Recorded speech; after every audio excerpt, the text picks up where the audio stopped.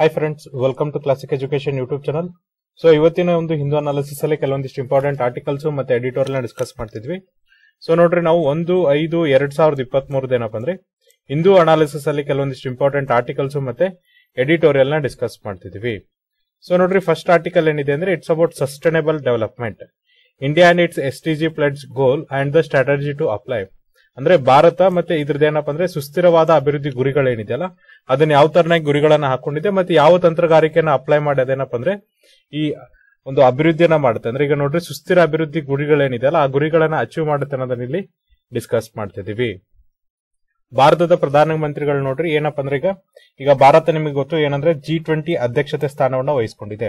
ಹಾಗಾಗಿ ನೋಡ್ರಿ, ಇವರು ಫೆಬ್ರವರಿ ಇಪ್ಪತ್ನಾಲ್ಕು, ಇಪ್ಪತ್ತೈದನೇ ತಾರೀಕು ಏನಪ್ಪ ಅಂದ್ರೆ, ಈ ಒಂದು ಸೆಂಟ್ರಲ್ ಬ್ಯಾಂಕ್ ಗವರ್ನರ್ಸ್ ಏನಿರ್ತಾರೆ ಫಾರ್ ಎಕ್ಸಾಂಪಲ್ ನೋಡ್ರಿ, ಭಾರತದಲ್ಲಿ ಕೇಂದ್ರೀಯ ಬ್ಯಾಂಕ್ ಆದಂತ ಆರ್ ಬಿ ಐ ಗವರ್ನರ್ ಏನಿದ್ರಲ್ಲ, ಅದೇ ತರನ ಏನಪ್ಪ ಅಂದ್ರೆ ಬೇರೆ ಬೇರೆ ದೇಶಗಳು ಅಂದ್ರೆ ಜಿ ಟ್ವೆಂಟಿ ದೇಶಗಳು ಏನಪ್ಪ ಅಂದ್ರೆ ಗವರ್ನರ್ ಒಂದು ಸಭೆ ಮಾಡಿದಾಗ ಅಲ್ಲೇನ್ ಕನ್ಸರ್ನ್ ಎಕ್ಸ್ಪರ್ ಮಾಡಿದಾರೆ. ಅಂದ್ರೆ ಅಲ್ಲೇನ್ ಹೇಳ್ಕೊಂಡಿದ್ದಾರೆ ಅಂದ್ರೆ ಏನ್ ಸುಸ್ಥಿರ ಅಭಿವೃದ್ಧಿ ಗುರಿಗಳಿದೆಯಲ್ಲ, ಆ ಗುರಿಗಳನ್ನ ನಾವೇನ್ ಮಾಡ್ತಿದ್ವಿ ಅಂದ್ರೆ ಈಗ ಕಡಿಮೆ ಅಂದ್ರೆ ಏನ್ ಪ್ರೋಗ್ರೆಸ್ ಇತ್ತಲ್ಲ ಅದು ಕಡಿಮೆ ಆಗ್ತಿದೆ. ಅಂದ್ರೆ ಮುಂಚೆ ನೋಡ್ರಿ ಪ್ರೋಗ್ರೆಸ್ ಚೆನ್ನಾಗಿತ್ತು ಅಂದ್ರೆ ತುಂಬಾ ಚೆನ್ನಾಗ್ ಒಳ್ಳೆ ಮಟ್ಟದಲ್ಲಿ ಏನಪ್ಪ ಅಂದ್ರೆ ಕೆಲಸ ಆಗ್ತಿತ್ತು. ಬಟ್ ಇತ್ತೀಚೆಗೆ ಏನಂದ್ರೆ ಅದು ಕಡಿಮೆ ಆಗ್ತಾ ಬರ್ತಾ ಇದೆ ಅಂತ ಹೇಳಿದ್ದಾರೆ. ಇದ್ರ ಜೊತೆಗೆ ನೋಡ್ರಿ ಅವ್ರ ಏನ್ ಹೇಳ್ತಿದ್ರು ಅಂದ್ರೆ ಭಾರತದ ಒಂದು ಸೈಜ್ ಅನ್ನ ಕನ್ಸಿಡರ್ ಮಾಡಿದಾಗ, ಯಾವ್ದ್ರಾಗೆ ಜನಸಂಖ್ಯೆ ಸೈಜ್ ಅನ್ನ ಕನ್ಸಿಡರ್ ಮಾಡಿದಾಗ ನಾವೇನಪ್ಪ ಅಂದ್ರೆ ಕೇವಲ ಭಾರತದ ಮಾತ್ರ ಚಿಂತೆ ಮಾಡಬಾರ್ದು. ಬದಲಾಗಿ ಜಾಗತಿಕವಾಗಿ ಯಾವ ತರನಾಗಿ ನಾವು ಸಸ್ಟೈನೇಬಲ್ ಡೆವಲಪ್ಮೆಂಟ್ ಗೋಲ್ಸ್ ಅಂದ್ರೆ ಸುಸ್ಥಿರ ಅಭಿವೃದ್ಧಿ ಗುರಿಗಳನ್ನ ಅಚೀವ್ ಮಾಡಬಹುದು ಅನ್ನೋದನ್ನು ಕೂಡ ಕೇಳಬಹುದು ನೋಡ್ಬೇಕಾಗುತ್ತೆ. ಜೊತೆಗೆ ಏನಪ್ಪಾ ಅಂದ್ರೆ ಭಾರತ ಯಾವ ತರನಾಗಿ ಈ ಗುರಿಗಳನ್ನ ಅಚೀವ್ ಮಾಡುತ್ತೆ ಅನ್ನೋದು ಕೂಡ ಇಂಪಾರ್ಟೆಂಟ್ ಆಗುತ್ತೆ. ಇದ್ರ ಜೊತೆಗೆ ನೋಡ್ರಿ ಪ್ರಧಾನಮಂತ್ರಿಗಳು ಏನ್ ಹೇಳಿದಾರೆ ಅಂದ್ರೆ ಮುಂಬರುವ ದಿನಗಳಲ್ಲಿ ಏನಪ್ಪಾ ಅಂದ್ರೆ ಭಾರತ ಜಗತ್ತಿನ ಅತಿ ದೊಡ್ಡ ಮೂರನೇ ಅತಿ ದೊಡ್ಡ ಏನಪ್ಪಾ ಅಂದ್ರೆ ಆರ್ಥಿಕತೆ ಆಗೋದ್ರಲ್ಲಿ ಏನಪ್ಪಾ ಅಂದ್ರೆ ಸಂಶಯ ಇಲ್ಲ. ಅಂದ್ರೆ ಮುಂದಿನ ದಶಕದಲ್ಲಿ ಏನಪ್ಪಾ ಅಂದ್ರೆ ನಾವೀಗ ಜಗತ್ತಿನ ಐದನೇ ಅತಿ ದೊಡ್ಡ ಆರ್ಥಿಕತೆ ಇದೀವಲ್ಲ ಜಗತ್ತಿನ ಐದನೇ ಅತಿ ದೊಡ್ಡ ಆರ್ಥಿಕತೆ ಹೋಗಿ ಏನಪ್ಪಾ ಅಂದ್ರೆ ಮೂರನೇ ಅತಿ ದೊಡ್ಡ ಆರ್ಥಿಕತೆ ಆಗುವಂತ ಸಂಭವ ಇದೆ ಈ ಒಂದು ಏನು ಒಳ್ಳೆ ಸೂಚನೆ ಅಂದ್ರೆ ನೋಡ್ರಿ ಜಗತ್ತಿನ ಮೂರನೇ ಅತಿ ದೊಡ್ಡ ಒಂದು ಆರ್ಥಿಕತೆ ಆದ್ಮೇಲೆ ಏನಪ್ಪಾ ಅಂದ್ರೆ ಈ ಒಂದು ಆರ್ಥಿಕ ಅಭಿವೃದ್ಧಿ ಇದೆಯಲ್ಲ, ಅದನ್ನ ನಾವು ಯಾವ ತರನಾಗ ಏನಪ್ಪಾ ಅಂದ್ರೆ ಸಾಮಾಜಿಕ ಮತ್ತೆ ಮಾನವ ಅಭಿವೃದ್ಧಿಯಾಗಿ ಏರ್ಪಡಿಸ್ತೀವಿ. ಅಂದ್ರೆ ಈ ಒಂದು ಆರ್ಥಿಕ ಅಭಿವೃದ್ಧಿ ಏನಪ್ಪಾ ಅಂದ್ರೆ ಅಭಿವೃದ್ಧಿಯಿಂದ ಸಾಮಾಜಿಕ ಮತ್ತೆ ಮಾನವ ಅಭಿವೃದ್ಧಿಯನ್ನ ಯಾವ ತರನಾಗಿ ನಾವು ಬದಲಾವಣೆ ಮಾಡ್ತೀವಿ ಅನ್ನೋದನ್ನು ಕೂಡ ಏನಪ್ಪಾ ಅಂದ್ರೆ ಇಲ್ಲಿ ನೋಡ್ಬೇಕಾಗತ್ತೆ.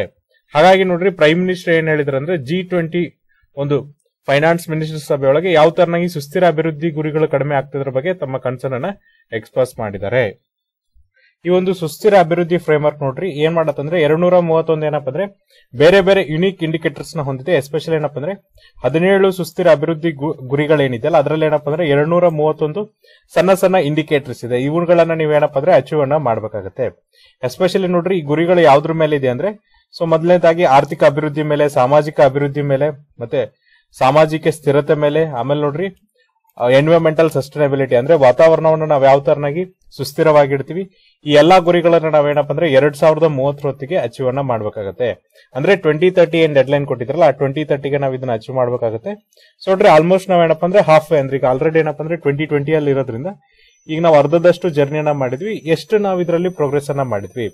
ಎಸ್ಪೆಷಲಿ ನೋಡ್ರಿ, ಭಾರತ ಏನಪ್ಪ ಅಂದ್ರೆ ಈ ಒಂದು ಸುಸ್ಥಿರ ಅಭಿವೃದ್ಧಿ ಗುರಿಗಳಲ್ಲಿ ನಾವು ಎಷ್ಟು ಪ್ರೋಗ್ರೆಸ್ ಅನ್ನ ತೋರಿಸಿದ್ವಿ. ಎಸ್ಪೆಷಲಿ ಎರಡ್ ನೂರ ಮೂವತ್ತೊಂದು ಇಂಡಿಕೇಟರ್ಸ್ ಇದೆಯಲ್ಲ, ಅಲ್ಲಿ ನಮ್ಮ ಅಭಿವೃದ್ಧಿ ಎಷ್ಟಾಗಿದೆ.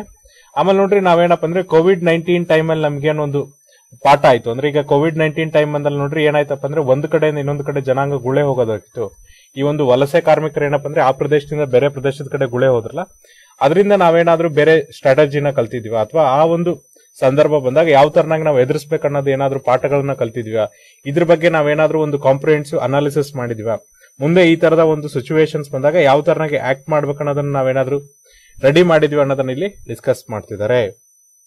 ಇತ್ತೀಚಿನ ಒಂದು ವರದಿ ಏನ್ ಹೇಳುತ್ತೆ ನೋಡ್ರಿ, ಭಾರತದ ಒಂದು ಸಾಧನೆ ಏನಿದೆ ಅಥವಾ ಭಾರತದ ಒಂದು ಪ್ರೋಗ್ರೆಸ್ ಏನಿದೆ ಎಸ್ಪೆಷಲಿ ಏನಪ್ಪ ಅಂದ್ರೆ, ಈ ಮೂವತ್ಮೂರು ವೆಲ್ಫೇರ್ ಇಂಡಿಕೇಟರ್ಸ್ ಅಲ್ಲಿ ಏನಪ್ಪ ಅಂದ್ರೆ ಆಲ್ರೆಡಿ ಅವರು ಒಂಬತ್ತು ಸುಸ್ಥಿರ ಅಭಿವೃದ್ಧಿ ಗುರಿಗಳನ್ನ ಕವರ್ ಮಾಡೋಂಗೆ ಏನಪ್ಪ ಅಂದ್ರೆ, ಜಾರಿ ಮಾಡಿದ್ದಾರೆ.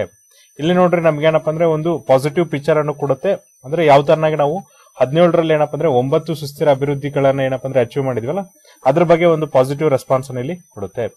ಸೊ ನೋಡ್ರಿ ಆನ್ ಟಾರ್ಗೆಟ್ ಮೀಟಿಂಗ್ ಒಳಗೆ ಏನಪ್ಪ ಅಂದ್ರೆ ನಾವು ಹದಿನಾಲ್ಕರಲ್ಲಿ ಮೂವತ್ ಮೂರಲ್ಲಿ ಏನಪ್ಪ ಅಂದ್ರೆ ಹದಿನಾಲ್ಕು ಇಂಡಿಕೇಟರ್ನ ಆಲ್ರೆಡಿ ಅಚೀವ್ ಮಾಡಿದೀವಿ.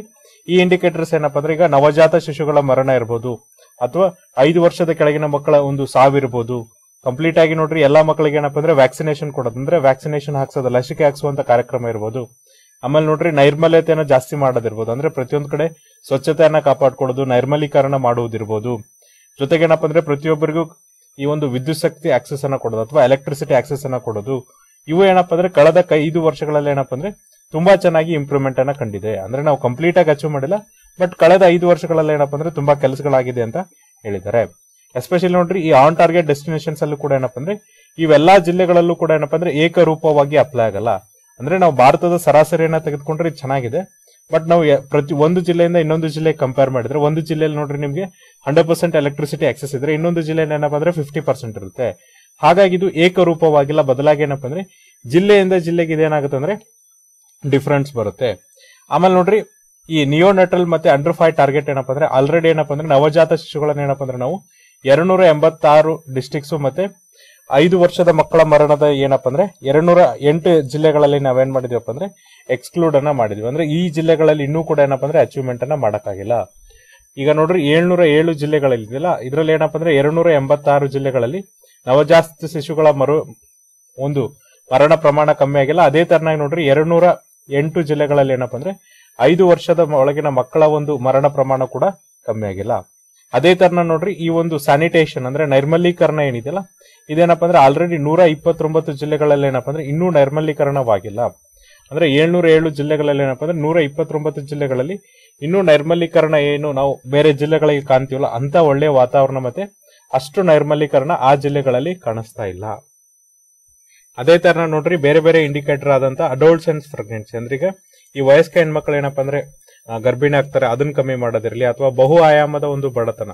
ಈಗ ನೋಡ್ರಿ ಮಲ್ಟಿ ಡೈಮೆನ್ಷನಲ್ ಪಾವರ್ಟಿ ಅಥವಾ ಬಹು ಆಯಾಮದ ಬಡತನ ಕಮ್ಮಿ ಮಾಡೋದ್ರಲ್ಲಿ ಅದು ಚೆನ್ನಾಗಿದೆ ಇದ್ರ ಜೊತೆಗೆ ನೋಡ್ರಿ ಮಹಿಳೆಯರ ಒಂದು ಬ್ಯಾಂಕ್ ಅಕೌಂಟ್ ಏನಿದೆ, ಅಂದ್ರೆ ಮಹಿಳೆಯರು ಏನು ಒಂದು ಬ್ಯಾಂಕ್ ಅಕೌಂಟ್ ಅನ್ನ ಹೊಂದ್ಬೇಕಂತೀವಲ್ಲ, ಅವು ಎಲ್ಲಾನು ಕೂಡ ಏನಾಗಿದೆಪ್ಪ ಅಂದ್ರೆ ಎಲ್ಲಾ ಜಿಲ್ಲೆಗಳಲ್ಲಿ ಏನಪ್ಪ ಅಂದ್ರೆ ಎರಡ್ ಸಾವಿರದ ಹದಿನಾರರಿಂದ ಎರಡ್ ಸಾವಿರದ ಇಪ್ಪತ್ತೊಂದರಿಗೆ ಆಲ್ಮೋಸ್ಟ್ ಏನಪ್ಪ ಅಂದ್ರೆ ಅಲ್ಲಿ ಅಭಿವೃದ್ಧಿ ಕಾಣ್ತಾ ಇದೆ. ಯಾವ್ದ್ರೊಳಗಂದ್ರೆ ವಯಸ್ಕ ಹೆಣ್ಣು ಮಕ್ಕಳ ಒಂದು ಗರ್ಭಿಣಿ, ಗರ್ಭಾವಸ್ಥೆ ಇರ್ಬೋದು. ಜೊತೆಗೆ ನೋಡ್ರಿ ಈ ವಯಸ್ಕ ಹೆಣ್ಮಕ್ಳು ಅಥವಾ ಅಡೋಲ್ಸೆನ್ಸ್ ಗರ್ಲ್ಸ್ ಅಂದ್ರೆ those are between twelve to seventeen years so ಇದು ಇರ್ಬೋದು ಅಥವಾ ಬಹು ಆಯಾಮದ ಬಡತನ. ಇದು ಕಮ್ಮಿ ಆಗಿದೆ. ಜೊತೆಗೆ ನೋಡ್ರಿ ಪ್ರತಿಯೊಬ್ಬರು ಮಹಿಳೆಯರಲ್ಲಿ ಏನಪ್ಪ ಅಂದ್ರೆ, ಈ ಒಂದು ಬ್ಯಾಂಕ್ ಅಕೌಂಟ್ಸ್ ಇಂಪ್ರೂವ್ಮೆಂಟ್ ಮತ್ತೆ ಬ್ಯಾಂಕಿಂಗ್ ಫೆಸಿಲಿಟಿ ಇಂಪ್ರೂವ್ಮೆಂಟ್ ಕೂಡ ಜಾಸ್ತಿ ಆಗಿದೆ. ಇಷ್ಟೆಲ್ಲ ಇದ್ರೂ ಸಹ ನೋಡ್ರಿ, ಈಗಿನ ಒಂದು ಪ್ರೋಗ್ರೆಸ್ ಏನಿದೆ ಅಂದ್ರೆ, ಈ ಒಂದು ಸುಸ್ಥಿರ ಅಭಿವೃದ್ಧಿ ಗುರಿಗಳಲ್ಲಿ ನಾವೇನು ಹತ್ತೊಂಬತ್ತು ಗುರಿಗಳನ್ನ ಅಥವಾ ಹತ್ತೊಂಬತ್ತು ಒಂದು ಇಂಡಿಕೇಟರ್ಸ್ ಏನು ಇಂಪ್ರೂವ್ ಮಾಡಿದ್ವಲ್ಲ, ಈ ಫೇಸ್ ಅಲ್ಲಿ ಹೋದ್ರೆ ಅಂದ್ರೆ, ಈಗ ನಾವು ಯಾವ ಸ್ಪೀಡ್ ಅಲ್ಲಿ ಈಗ ಒಂದು ಅಭಿವೃದ್ಧಿಯನ್ನ ಮಾಡ್ತೀವಲ್ಲ, ಇದೇ ಅಭಿವೃದ್ಧಿಯನ್ನ ಮಾಡ್ತಾ ಹೋದ್ರೆ, ನಾವು ನೋಡ್ರಿ ಸುಸ್ಥಿರ ಅಭಿವೃದ್ಧಿ ಗುರಿ. ನಾವು ಎರಡ್ ಸಾವಿರದ ಮೂವತ್ತರ ಹೊತ್ತಿಗೆ ಏನು ಸುಸ್ಥಿರ ಅಭಿವೃದ್ಧಿ ಗುರಿಯ ಒಂದು ಟಾರ್ಗೆಟ್ ಹಾಕೊಂಡಿದ್ವಲ್ಲ, ಈ ಟಾರ್ಗೆಟ್ ಅನ್ನ ನಮ್ಗೆ ಏನಪ್ಪ ಅಂದ್ರೆ ಅಚೀವ್ ಮಾಡಕ್ಕಾಗಲ್ಲ. ಸೊ ನೋಡ್ರಿ, ನಮ್ಮ ದೇಶದಲ್ಲಿ ಏನಪ್ಪ ಅಂದ್ರೆ ಆಲ್ರೆಡಿ ಏನಪ್ಪ ಅಂದ್ರೆ ಈ ಕ್ಲೀನ್ ಫ್ಯೂಯಲ್ ಫಾರ್ ಕುಕಿಂಗ್ ಅಂದ್ರೆ ನೋಡ್ರಿ, ಅಡುಗೆ ಮಾಡೋದಕ್ಕೆ ನಾವೇನಪ್ಪ ಅಂದ್ರೆ ಹಸಿರು ಇಂಧನ ಬಳಸ್ಬೇಕಂತ ಹೇಳಿ ಒಂದು ರಾಷ್ಟ್ರೀಯ ಯೋಜನೆ ಇದ್ರೂ ಸಹ ಏನಪ್ಪ ಅಂದ್ರೆ ನಮ್ಮಲ್ಲಿ ನೋಡ್ರಿ ನಾಲ್ಕನೂರ ಎಪ್ಪತ್ತೊಂಬತ್ತು ಜಿಲ್ಲೆಗಳಲ್ಲಿ, ಅಂದ್ರೆ ಆಲ್ಮೋಸ್ಟ್ ಏನಪ್ಪ ಅಂದ್ರೆ ಮೂರನೇ ಎರಡು ಭಾಗದಷ್ಟು ಜಿಲ್ಲೆಗಳಲ್ಲಿ ಏನಪ್ಪ ಅಂದ್ರೆ ಇನ್ನೂ ಕೂಡ ಏನಪ್ಪ ಅಂದ್ರೆ ಮಹಿಳೆಯರು ಇಲ್ಲಿ ಅಡಿಗೆ ಮಾಡಕ್ಕೆ ಏನಪ್ಪ ಅಂದ್ರೆ ಕ್ಲೀನ್ ಕುಕಿಂಗ್ ಫ್ಯೂಯಲ್ಸ್ ಅನ್ನ ಯೂಸ್ ಮಾಡ್ತಾ ಇಲ್ಲ. ಅದೇ ತರ ನೋಡ್ರಿ ಸ್ಯಾನಿಟೇಷನ್ ಫೆಸಿಲಿಟಿನ ನಾವು ತೆಗೆದುಕೊಂಡಾಗ ಎಸ್ಪೆಷಲಿ ಏನಪ್ಪ ಅಂದ್ರೆ ಈ ಇಂಪ್ರೂವ್ಡ್ ನೀರಿನ ಸೌಲಭ್ಯವನ್ನ ಮತ್ತೆ ಹ್ಯಾಂಡ್ ವಾಷಿಂಗ್ ಫೆಸಿಲಿಟೀಸ್ನ ತೆಗೆದುಕೊಂಡ ನೋಡ್ರಿ. ನೀರಿನ ಸೌಲಭ್ಯ ಏನಪ್ಪ ಅಂದ್ರೆ ಇನ್ನೂ ಕೂಡ ನಾಲ್ಕನೂರ ಹದಿನೈದು ಜಿಲ್ಲೆಗಳಲ್ಲಿ ಏನಪ್ಪ ಅಂದ್ರೆ ಆ ಒಂದು ರೇಂಜ್ಗೆ ಡೆವಲಪ್ಮೆಂಟ್ ಆಗಿಲ್ಲ ಅಥವಾ ಅಷ್ಟು ಅಭಿವೃದ್ಧಿನ ಕಂಡಿಲ್ಲ. ಅದೇ ಜೊತೆ ನೋಡ್ರಿ ಹ್ಯಾಂಡ್ ವಾಷಿಂಗ್ ಫೆಸಿಲಿಟಿನ ತೆಗೆದುಕೊಂಡ್ರೆ ನಾವು ಎರಡ್ನೂರ ಎಪ್ಪತ್ತೆಂಟು ಜಿಲ್ಲೆಗಳಲ್ಲಿ ಏನಪ್ಪ ಅಂದ್ರೆ, ಆ ಒಂದು ಕೈ ತೊಳ್ಕೊಳ್ಳುವಂತ ಅಥವಾ ಹ್ಯಾಂಡ್ ವಾಷಿಂಗ್ ಫೆಸಿಲಿಟೀಸ್ ಇನ್ನೂ ಕೂಡ ಇಂಪ್ರೂವ್ ಆಗಬೇಕು. ಅಂದ್ರೆ, ಅಲ್ಲಿ ಇಂಪ್ರೂವ್ಮೆಂಟ್ ಏನಿದೆ, ಅದು ಇನ್ನೂ ಕಮ್ಮಿ ಇದೆ, ಇನ್ನೂ ಕೂಡ ಜಾಸ್ತಿ ಆಗ್ಬೇಕು. ಅವಾಗ ಮಾತ್ರ ನಾವೇನಪ್ಪ ಅಂದ್ರೆ ಎರಡ್ ಸಾವಿರದ ಮೂವತ್ತರೊತ್ತಿಗೆ ಏನ್ ಸುಸ್ಥಿರ ಅಭಿವೃದ್ಧಿ ಗುರಿ ಇದೆಯಲ್ಲ, ಅದನ್ನ ಅಚೀವ್ ಮಾಡಕ್ಕೆ ಆಗತ್ತೆ. ಇದ್ರ ಜೊತೆಗೆ ನೋಡ್ರಿ, ಇನ್ನೂ ಕೆಲವೊಂದಿಷ್ಟು ಇಂಡಿಕೇಟರ್ಸ್ ಆದಂತ ಸುಸ್ಥಿರ ಅಭಿವೃದ್ಧಿ ಗುರಿಗಳದ್ದು. ಎಸ್ಪೆಷಲಿ ಏನಪ್ಪ ಅಂದ್ರೆ ಮಹಿಳೆಯರಿಗೋಸ್ಕರ ಅವ್ರು ಚೆನ್ನಾಗಿರ್ಬೇಕು. ಆಮೇಲೆ ಏನಪ್ಪ ಅಂದ್ರೆ ಜೆಂಡರ್ ಇನ್ಇಕ್ವಾಲಿಟಿ ಅಂದ್ರೆ ನೋಡ್ರಿ, ಈ ಲಿಂಗ ಅಸಮಾನತೆ ಏನಿದೆಯಲ್ಲ, ಅದನ್ನ ಹೊಡ್ಸ್ಕೋದಕ್ಕೆ ಏನಪ್ಪ ಅಂದ್ರೆ, ಅದನ್ನ ಸಂಪೂರ್ಣವಾಗಿ ನಿರ್ಮೂಲನೆ ಮಾಡೋದಕ್ಕೋಸ್ಕರ ಏನಂದ್ರೆ, ಕೆಲವೊಂದಿಷ್ಟು ಇಂಡಿಕೇಟರ್ಸ್ನ ಬಳಿದ್ರು. ಇಲ್ಲಿವರೆಗೂ ಕೂಡ ನೋಡ್ರಿ, ಯಾವುದೇ ಒಂದು ಜಿಲ್ಲೆಯಲ್ಲಿ, ಅಂದ್ರೆ ಭಾರತದ ಯಾವುದೇ ಒಂದು ಜಿಲ್ಲೆಯಲ್ಲಿ ಏನಪ್ಪ ಅಂದ್ರೆ, ಇಲ್ಲಿವರೆಗೂ ಕೂಡ ಏನಪ್ಪ ಅಂದ್ರೆ, ಹೆಣ್ಣು ಮಕ್ಕಳ ಒಂದು ಬಾಲ್ಯ ವಿವಾಹವನ್ನ ತಡೆಯಕ್ಕಾಗಿಲ್ಲ. ಅಂದ್ರೆ ಯಾವ ಒಂದು ಜಿಲ್ಲೆಯನ್ನು ಏನಪ್ಪ ಅಂದ್ರೆ ಕಂಪ್ಲೀಟ್ ಆಗಿ ಈ ಏನು ಬಾಲ್ಯ ವಿವಾಹ ಆಗುತ್ತಲ್ಲ, ಈ ಬಾಲ್ಯ ವಿವಾಹವನ್ನ ಯಾವ ಒಂದು ಜಿಲ್ಲೆಯಲ್ಲೂ ಕೂಡ ತಡೆಯಕ್ಕಾಗಿಲ್ಲ. ಅಂದ್ರೆ ನಾವೀಗ ಲೀಗಲ್ ಒಂದು ಏಜ್ ಪ್ರಕಾರ ಏನಪ್ಪ ಅಂದ್ರೆ, ಹದಿನೆಂಟು ವರ್ಷಕ್ಕಿಂತ ಯಾವ್ದಾದ್ರು ಹೆಣ್ಣು ಮಕ್ಕಳನ್ನ ಮದುವೆ ಮಾಡಿದ್ರೆ ನಾವೇನ್ ಬಾಲ್ಯ ವಿವಾಹ ಅಂತ ಕರಿತೀವಲ್ಲ? ಇಷ್ಟ ಕಾಯ್ದೆ ಕಾನೂನುಗಳು ಇದ್ರೂ ಕೂಡ ಏನಪ್ಪ ಅಂದ್ರೆ, ಒಂದೇ ಒಂದು ಜಿಲ್ಲೆಯಲ್ಲಿ ಏನಪ್ಪ ಅಂದ್ರೆ ಬಾಲ್ಯ ವಿವಾಹದ ಕೇಸ್ಗಳಿಲ್ಲ ಅನ್ನಂಗಿಲ್ಲ. ಪ್ರತಿಯೊಂದು ಜಿಲ್ಲೆಯಲ್ಲೂ ಕೂಡ ಏನಪ್ಪ ಅಂದ್ರೆ ಕೇಸ್ಗಳಿದೆ. ಹಾಗಾಗಿ ಯಾವ ಒಂದು ಜಿಲ್ಲೆನೂ ಕೂಡ ಏನಪ್ಪ ಅಂದ್ರೆ ಈ ಒಂದು ಟಾರ್ಗೆಟ್ ಅನ್ನ ಅಚೀವ್ ಮಾಡಕ್ ಆಗಿಲ್ಲ ಅದೇ ತರ ನೋಡ್ರಿ, ನಮ್ಮ ಒಂದು ಐದ್ನೂರ ಮೂವತ್ತೊಂಬತ್ತು ಜಿಲ್ಲೆಗಳಲ್ಲಿ ಏನಪ್ಪ ಅಂದ್ರೆ ಈ ಒಂದು ಬಾಲ್ಯ ವಿವಾಹ ತಡೆಯಕ್ಕೆ ಇನ್ನೂ ಕೂಡ ಆಗಿಲ್ಲ. ಎಸ್ಪೆಷಲಿ ನೋಡ್ರಿ ಸುಸ್ಥಿರ ಅಭಿವೃದ್ಧಿ ಗುರಿಗಳ ಪ್ರಕಾರ ಏನಪ್ಪ ಅಂದ್ರೆ, ಬಾಲ್ಯ ವಿವಾಹನ ನಾವೇನ್ ಮಾಡ್ತೀವಿ ಅಂದ್ರೆ ಎರಡ್ ಸಾವಿರದ ಮೂವತ್ತರೊತ್ತಿಗೆ ಕೇವಲ ಪಾಯಿಂಟ್ ಫೈವ್ ಪರ್ಸೆಂಟೇಜ್ ಏನ್ ರೆಡ್ಯೂಸ್ ಮಾಡ್ತೀವಿ ಅಂತ ಹೇಳಿದ್ವಲ್ಲ, ಈ ರೆಡ್ಯೂಕ್ಷನ್ ಅನ್ನ ಮಾಡಕ್ಕೆ ಏನಪ್ಪ ಅಂದ್ರೆ ಇನ್ನೂ ಕೂಡ ನಾಲ್ಕನೇ ಮೂರು ಭಾಗ, ಅಂದ್ರೆ ತ್ರೀ ಫೋರ್ತ್ ಅಂತ ಏನ್ ಕರಿತೀವಿ ಸೆವೆಂಟಿ ಫೈವ್ ಪರ್ಸೆಂಟ್ ಜಿಲ್ಲೆಗಳಲ್ಲಿ ಅಚೀವ್ ಮಾಡಕ್ ಆಗ್ತಾ ಇಲ್ಲ. ಎಸ್ಪೆಷಲಿ ಎಷ್ಟು ಜಿಲ್ಲೆಗಳಲ್ಲಿ ಏನಪ್ಪ ಅಂದ್ರೆ, ಐದ್ನೂರ ಮೂವತ್ತೊಂಬತ್ತು ಜಿಲ್ಲೆಗಳಲ್ಲಿ. ಇದ್ರ ಜೊತೆಗೆ ನೋಡ್ರಿ ಇನ್ನೂ ಒಂದು ಸರ್ಪ್ರೈಸಿಂಗ್ ಏನಪ್ಪ ಅಂದ್ರೆ for for example teenagers pregnancy ಇರ್ಬೋದು, ಮತ್ತೆ ಏನಪ್ಪ ಅಂದ್ರೆ ಪಾರ್ಟ್ನರ್ ವೈಲೆನ್ಸ್ ಅಂದ್ರೆ ಈಗ ನೋಡ್ರಿ, ಮದುವೆ ಆದ್ಮೇಲೆ ಗಂಡ ಕಿರುಕುಳ ಕೊಡ್ಬೋದು. ಇದು ಏನಪ್ಪ ಅಂದ್ರೆ ಎಸ್ಪೆಷಲಿ ಹದಿನೈದರಿಂದ ಹತ್ತೊಂಬತ್ತು ವರ್ಷದ ಹೆಣ್ಮಕ್ಳಲ್ಲಿ ಏನ್ ಜಾಸ್ತಿ ಇರುತ್ತಲ್ಲ, ಅದನ್ನ ನಾವೇನ್ ಮಾಡ್ಬೋದು ಅಂದ್ರೆ ಬಾಲ್ಯ ವಿವಾಹಕ್ಕೆ ಅಟ್ಯಾಚ್ ಮಾಡಬಹುದು ಅಂದ್ರೆ ಬಾಲ್ಯ ವಿವಾಹದಲ್ಲಿ ಹೆಣ್ಮಕ್ಳನ್ನ ಮದುವೆ ಮಾಡಿಕೊಟ್ರೆ ಅಲ್ಲಿ ಅವ್ರ ಜೊತೆಗಿರುವಂತ ಪಾರ್ಟ್ನರ್ ವೈಲೆನ್ಸ್ ಜಾಸ್ತಿ ಆಗುತ್ತೆ. ಜೊತೆಗೆ ಏನಪ್ಪಾ ಅಂದ್ರೆ ಅಲ್ಲಿ ಪ್ರೆಗ್ನೆನ್ಸಿ ಜಾಸ್ತಿ ಆಗುತ್ತೆ. ಅಂದ್ರೆ ನೋಡ್ರಿ, ಈಗ ಸಣ್ಣ ಮಕ್ಕಳಲ್ಲಿ ಏನಪ್ಪಾ ಅಂದ್ರೆ ಪ್ರೆಗ್ನೆಂಟ್ ಆದ್ರೆ ಅವ್ರಿಗೆ ಏನಪ್ಪಾ ಅಂದ್ರೆ ಅಷ್ಟು ಮೆಚುರಿಟಿ ಇರೋದಿಲ್ಲ. ಸೊ ಅಲ್ಲಿ ಪ್ರೆಗ್ನೆನ್ಸಿ ರಿಲೇಟೆಡ್ ಏನಪ್ಪ ಅಂದ್ರೆ ಕಾಂಪ್ಲಿಕೇಶನ್ಸ್ ಜಾಸ್ತಿ ಬರುತ್ತೆ. ಆ ಒಂದು ಇಶ್ಯೂಸ್ ಏನಿದೆ, ಅಂದ್ರೆ ಆ ಒಂದು ಸಮಸ್ಯೆಗಳೇನಿದೆ ಅಲ್ಲ ಅದಕ್ಕೆ ನಾವೇನಪ್ಪ ಅಂದ್ರೆ ಮೊದಲ ಆದ್ಯತೆಯನ್ನ ಕೊಡಬೇಕಾಗತ್ತೆ ಅಂತ ಇಲ್ಲಿ ಹೇಳಿದ್ದಾರೆ. ಇದ್ರ ಜೊತೆಗೆ ನೋಡ್ರಿ ನಾವೇನಪ್ಪ ಅಂದ್ರೆ ಮಹಿಳೆಯರಲ್ಲಿ ಏನಾಗಿದೆ ಅಂದ್ರೆ ಈಗ ಮೊಬೈಲ್ ಫೋನ್ ಆಕ್ಸೆಸ್ ಜಾಸ್ತಿ ಇದೆ ಅನ್ಕೊಂತೀವಿ ಅಂದ್ರೆ ಪ್ರತಿಯೊಬ್ಬ ಹೆಣ್ಮಕ್ಳ ಹತ್ರನು ಮಹಿಳೆ, ಮಹಿಳೆಯರ ಹತ್ರನು ಈಗ ಮೊಬೈಲ್ ಫೋನ್ ಆಕ್ಸೆಸ್ ಜಾಸ್ತಿ ಇದ್ರೂ ಸಹ ಏನಪ್ಪ ಅಂದ್ರೆ ಈಗ ಏನಪ್ಪ ಅಂದ್ರೆ ಕೇವಲ ತೊಂಬತ್ಮೂರು ಪರ್ಸೆಂಟ್ ಹೌಸ್ ಹೋಲ್ಡ್ಸ್ ಅಲ್ಲಿ ಮಾತ್ರ ಏನಪ್ಪ ಅಂದ್ರೆ ಮೊಬೈಲ್ ಫೋನ್ಸ್ ಅನ್ನ ಹೊಂದಿದ್ದಾರೆ. ಅದರಲ್ಲಿ ಏನಪ್ಪ ಅಂದ್ರೆ ಐವತ್ತಾರು ಪರ್ಸೆಂಟ್ ಹೆಣ್ಮಕ್ಳಲ್ಲಿ ಮಾತ್ರ ಏನಪ್ಪ ಅಂದ್ರೆ ಮೊಬೈಲ್ ಫೋನ್ ಇದೆ. ಅಂದ್ರೆ ನಮ್ಮ ದೇಶದ ಹೆಣ್ಣುಮಕ್ಕಳ ಒಟ್ಟು ನೂರು ಪರ್ಸೆಂಟ್ ಜನಸಂಖ್ಯೆನ ತೆಗೆದುಕೊಂಡ್ರೆ, ಅದರಲ್ಲಿ ಕೇವಲ ಐವತ್ತಾರು ಪರ್ಸೆಂಟ್ ಹೆಣ್ಣು ಹತ್ರ ಮಾತ್ರ ಏನಪ್ಪ ಅಂದ್ರೆ ಮೊಬೈಲ್ ಫೋನ್ ಇದೆ. ಇದ್ರ ಜೊತೆಗೆ ನೋಡ್ರಿ ಐನೂರ ಅರವತ್ತ ಏಳು ಡಿಸ್ಟಿಕ್ಸ್ಗಳು ಏನಪ್ಪ ಅಂದ್ರೆ ಈ ಟಾರ್ಗೆಟ್ ಇಂದ ಆಚೆ ಇದೆ. ಅಂದ್ರೆ ಅವ್ರಿಗೇನು ಒಂದು ಟಾರ್ಗೆಟ್ ಅನ್ನ ಕೊಟ್ಟಿದ್ರು, ಆ ಟಾರ್ಗೆಟ್ ಅನ್ನ ಅಚೀವ್ ಮಾಡಕ್ ಆಗದೆ ಏನಪ್ಪ ಅಂದ್ರೆ ನಮ್ಮ ದೇಶದ ಏಳ್ನೂರ ಏಳರಲ್ಲಿ ಏನಪ್ಪ ಅಂದ್ರೆ ಐನೂರ ಅರವತ್ತೇಳು ಡಿಸ್ಟಿಕ್ಗಳು ಏನಪ್ಪ ಅಂದ್ರೆ ಟಾರ್ಗೆಟ್ನಿಂದ ಆಚೆ ಇದಾವೆ. ನಾವು ನೋಡ್ರಿ ಕೋವಿಡ್ ನೈನ್ಟೀನ್ ಇಂದ ಏನ್ ಅಪ್ರೋಚ್ ಅನ್ನ ಕಲಿತೀವಿ ಅಂದ್ರೆ, ಸೊ ನೋಡ್ರಿ ಕೋವಿಡ್ ನೈನ್ಟೀನ್ ಟೈಮ್ ಅಲ್ಲಿ ಏನಪ್ಪಾ ಅಂದ್ರೆ ಭಾರತ ಒಂದು ಆಪ್ಟಿಮೈಸೇಷನ್ ಅಂದ್ರೆ ಈಗಿರುವಂತಹ ಫೆಸಿಲಿಟಿನ ಇನ್ನೂ ಚೆನ್ನಾಗಿ ಬೆಳೆಸುವಂತ ಒಂದು ಅಪ್ರೋಚ್ ಅನ್ನ ಮಾಡ್ಕೊಂಡಿತ್ತು. ಹಾಗಾಗಿ ನೋಡ್ರಿ ಫೋಕಸ್ ಏನಿತ್ತಪ್ಪ ಅಂದ್ರೆ ಆ ಸಮಯದಲ್ಲಿ ನಮ್ಮ ಫೋಕಸ್ ಏನಿತ್ತಂದ್ರೆ ನಮ್ಮಲ್ಲಿರುವಂತಹ ಸಂಪನ್ಮೂಲಗಳನ್ನ ನಾವೇನ್ ಮಾಡ್ಬೇಕಂದ್ರೆ ಕ್ರೋಢೀಕರಣ ಮಾಡ್ಬೇಕು ಮತ್ತೆ ಅದನ್ನ ಎಫೆಕ್ಟಿವ್ ಆಗಿ ಯೂಸ್ ಮಾಡ್ಕೋಬೇಕಂತ ಹೇಳಿದ್ರು. ಅದೇ ತರನಾಗಿ ಏನಪ್ಪ ಅಂದ್ರೆ ಆ ಒಂದು ಅಪ್ರೋಚ್ ಅನ್ನ ನಾವ್ ಈಗ ಏನ್ ಮಾಡ್ಬೇಕಾಗತ್ತಂದ್ರೆ, ಈ ಒಂದು ಸಸ್ಟೈನಬಲ್ ಡೆವಲಪ್ಮೆಂಟ್ ಗೋಲ್ಸ್ ಅಥವಾ ಸುಸ್ಥಿರ ಅಭಿವೃದ್ಧಿ ಗುರಿಗಳಲ್ಲೂ ಕೂಡ ಅಡಾಪ್ಟ್ ಅನ್ನ ಮಾಡ್ಕೋಬೇಕಾಗುತ್ತೆ. ಫಸ್ಟ್ ನೋಡ್ರಿ ಕೋವಿಡ್ ನೈನ್ಟೀನ್ ಸಕ್ಸಸ್ ಆಗಕ್ಕೆ ಮುಖ್ಯ ಕಾರಣ ಏನಪ್ಪ ಅಂದ್ರೆ, ನಮ್ಮಲ್ಲಿರುವಂತ ಸುಸ್ಥಿರವಾದ ರಾಜಕೀಯ ನಾಯಕತ್ವ, ಇದನ್ನ ಏನಪ್ಪ ಅಂದ್ರೆ ಸಪೋರ್ಟ್ ಮಾಡಿದವರು ಅಥವಾ ಇದಕ್ಕೆ ಒಂದು ಪ್ರೋತ್ಸಾಹ ಕೊಟ್ಟವರು ಅಥವಾ ಇದಕ್ಕೆ ಬಲ ತುಂಬಿದವರು ಯಾರಂದ್ರೆ ಜವಾಬ್ದಾರಿಯುತವಾದಂತ ಒಂದು ಆಡಳಿತ ರಚನೆ.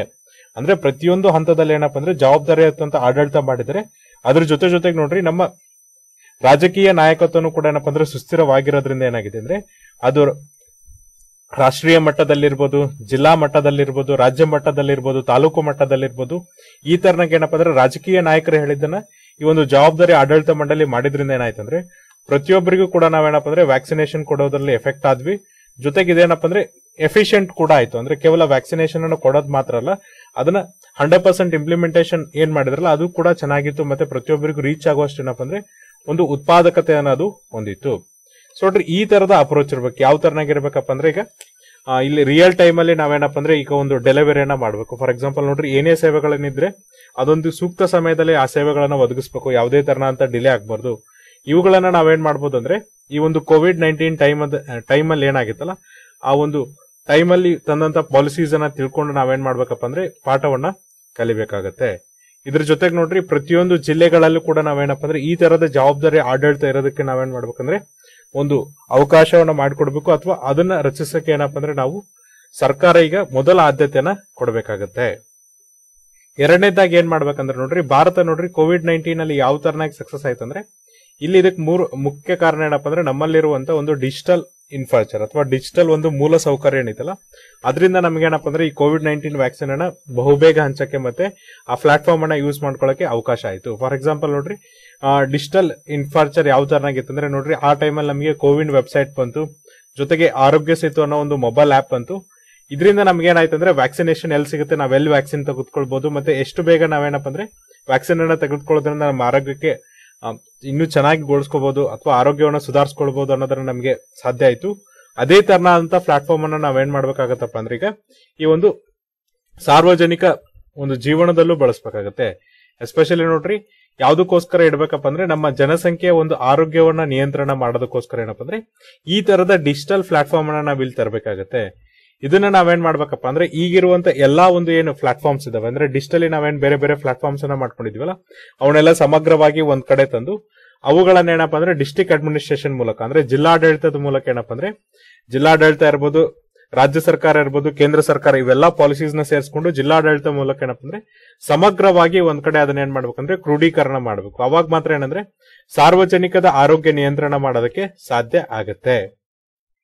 ಇದ್ರ ಜೊತೆಗೆ ಇನ್ನೂ ಒಂದು ಮುಖ್ಯವಾಗಿ ನಾವು ಯಾವ ತರನ ಇದು ಮಾಡ್ಬೇಕಂದ್ರೆ ನೋಡ್ರಿ ಯಾವ ತರನ ನಾವು ಕೋವಿಡ್ ನೈನ್ಟೀನ್ ಟೈಮ್ ಅಲ್ಲಿ ನೋಡ್ರಿ ರಿಲೀಫ್ ಪ್ಯಾಕೇಜ್ ಕೊಟ್ಟಿವಿ. ಅಂದ್ರೆ ಎಷ್ಟು ಬೇಗ ನಮ್ಮ ಒಂದು ಯೋಜನೆಗಳು ಬಂದಲ್ಲ, ಅದೇ ತರನಾದ ಪ್ಯಾಕೇಜ್ ಅನ್ನ ನಾವೇನ್ ಮಾಡ್ಬೇಕಪ್ಪ ಅಂದ್ರೆ ಸುಸ್ಥಿರ ಅಭಿವೃದ್ಧಿ ಗುರಿಗಳನ್ನ ಅಚೀವ್ ಮಾಡೋದು ಕೂಡ ಕೊಡಬೇಕು.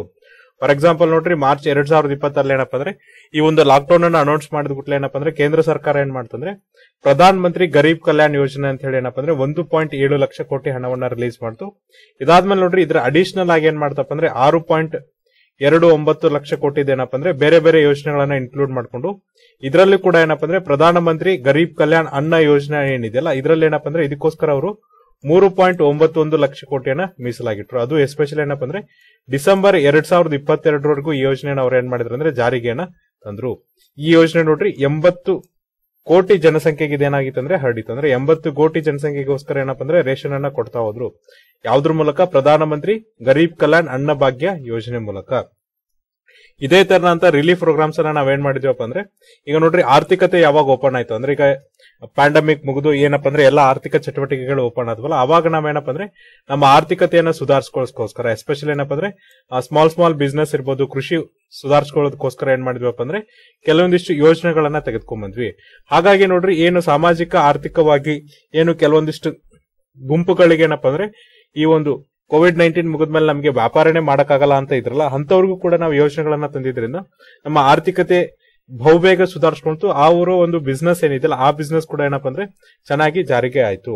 ಅಂದ್ರೆ ನಾವು ತಂದಂತ ಯೋಜನೆಗಳು, ನಾವು ಅಂದ್ರೆ ಕೇಂದ್ರ ಸರ್ಕಾರದವರು ತಂದಂತ ಯೋಜನೆಗಳಿಂದ ಏನಪ್ಪ ಅಂದ್ರೆ ಈ ಸಾಮಾಜಿಕವಾಗಿ, ಆರ್ಥಿಕವಾಗಿ ಹಿಂದುಳಿದಂತ ಗುಂಪುಗಳಿಗೂ ಕೂಡ ಒಂದು ಆರ್ಥಿಕ ಸಹಾಯ ಸಿಕ್ತು. ಹಾಗಾಗಿ ಅವರ ಬಿಸ್ನೆಸ್ ಅನ್ನು ಬೇಗ ಸೆಟಪ್ ಮಾಡಿದ್ರು. ಜೊತೆಗೆ ಆರ್ಥಿಕ ಚೇತರಿಕೆಯನ್ನು ಕೂಡ ಏನಪ್ಪ ಅಂದ್ರೆ ಇದರಿಂದ ಸಾಧ್ಯ ಆಯ್ತು. ಅದೇ ತರನಂತ ಪ್ಲಾನ್ಸ್ ಗಳನ್ನ ನೀವೇನಪ್ಪ ಅಂದ್ರೆ ಸುಸ್ಥಿರ ಅಭಿವೃದ್ಧಿ ಗುರಿಗಳನ್ನ ಅಚೀವ್ ಮಾಡೋದಕ್ಕೂ ಕೂಡ ತರಬೇಕಾಗುತ್ತೆ. ಈಗ ನಾವೇನಾದ್ರೂ ಸುಸ್ಥಿರ ಅಭಿವೃದ್ಧಿ ಗುರಿಗಳನ್ನ ಅಚೀವ್ ಮಾಡ್ಬೇಕ್ರೆ ಒಂದು ದಶಕದ ಒಂದು ಯೋಜನೆಯನ್ನ ಮಾಡ್ಬೇಕಾಗತ್ತೆ. ಅಲ್ಲಿ ನೋಡ್ರಿ ನಾವು ಹೊಸ ಹೊಸ ಇನೋವೇಷನ್ಸ್ ಪಾಲಿಸೀಸ್ನ ತರಬೇಕಾಗತ್ತೆ. ಅಂದ್ರೆ ಹೊಸ ಅನ್ವೇಷಣೆಗಳನ್ನ ತರಬೇಕಾಗುತ್ತೆ. ಜೊತೆಗೆ ಜನರು ಕೂಡ ಏನಪ್ಪ ಅಂದ್ರೆ ಆಕಾಂಕ್ಷಿಗಳಾಗಿರ್ಬೇಕು. ಅಂದ್ರೆ ನಾವು ಈ ಸುಸ್ಥಿರ ಅಭಿವೃದ್ಧಿಗಳನ್ನ ನಾವು ಕೂಡ ಅಡಾಪ್ಟ್ ಮಾಡ್ಕೋತೀವಿ ಅಂತ ಆಕಾಂಕ್ಷಿಗಳಾಗಿರ್ಬೇಕಾಗತ್ತೆ. ನೋಡ್ರಿ, ಯಾವ ತರನಾಗೆ ನಾವು ಕೋವಿಡ್ ನೈನ್ಟೀನ್ಗೆ ಸಪೋರ್ಟ್ ಅನ್ನ ಕೊಟ್ಟಲ್ಲ, ಅದೇ ತರನಂತ ಸಪೋರ್ಟ್ ಅನ್ನ ನಾವೇನಪ್ಪ ಅಂದ್ರೆ ಈ ಒಂದು ಸುಸ್ಥಿರ ಅಭಿವೃದ್ಧಿ ಕೊಟ್ರೆ, ಮತ್ತೆ ಜನರು ಏನ್ ಬಯಸ್ತಿದಾರೆ ಅದನ್ನ ಕೊಟ್ರೆ, ಆಮೇಲೆ ಜನರಿಗೆ ಏನಪ್ಪ ಅಂದ್ರೆ ಸುಸ್ಥಿರ ಅಭಿವೃದ್ಧಿ ಯೋಜನೆನ ಅಡಾಪ್ಟ್ ಮಾಡ್ಕೊಳ್ಳೋದಕ್ಕೋಸ್ಕರ ನೋಡ್ರಿ, ಬೇರೆ ಬೇರೆ ಯೋಜನೆಗಳನ್ನ ತಂತ್ರ ಕೊಟ್ರೆ, ಅಥವಾ ಸಬ್ಸಿಡೀಸ್ನ ಕೊಟ್ರೆ, ನಾವು ಕೂಡ ಏನಪ್ಪ ಅಂದ್ರೆ ಆದಷ್ಟು ಬೇಗ ಏನ್ ಮಾಡ್ತೀವಿ ಅಂದ್ರೆ ಎರಡ್ ಸಾವಿರದ ಮೂವತ್ತರ ಹೊತ್ತಿಗೆ ಈ ಸುಸ್ಥಿರ ಅಭಿವೃದ್ಧಿ ಗುರಿಗಳನ್ನ ಏನ್ ಅಚೀವ್ ಮಾಡಬಹುದಲ್ಲ ಆ ಗುರಿಗಳನ್ನ ಅಚೀವ್ ಮಾಡ್ತೀವಿ. ಸೊ ನೋಡ್ರಿ, ಅದೇ ತರನಾಗಿ ನಮ್ಮ ನೆಕ್ಸ್ಟ್ ಆರ್ಟಿಕಲ್ ಏನಿದೆ ಅಂದ್ರೆ, ಆ ಇಟ್ಸ್ ಅಬೌಟ್ ಏನಪ್ಪ ಅಂದ್ರೆ ಲೇಬರ್ ರೈಟ್ಸ್ ಅಂದ್ರೆ ಲೇಬರ್ ರೈಟ್ಸ್ ಯಾವ ತರನಾಗಿ ಬಂತು ಅನ್ನೋದನ್ನ ಇಲ್ಲಿ ಎಕ್ಸ್ಪ್ಲೇನ್ ಮಾಡಿದ್ದಾರೆ. ಸೊ ನೋಡ್ರಿ, ಇವತ್ತೇನಪ್ಪ ಅಂದ್ರೆ ಮೇ ಒಂದು.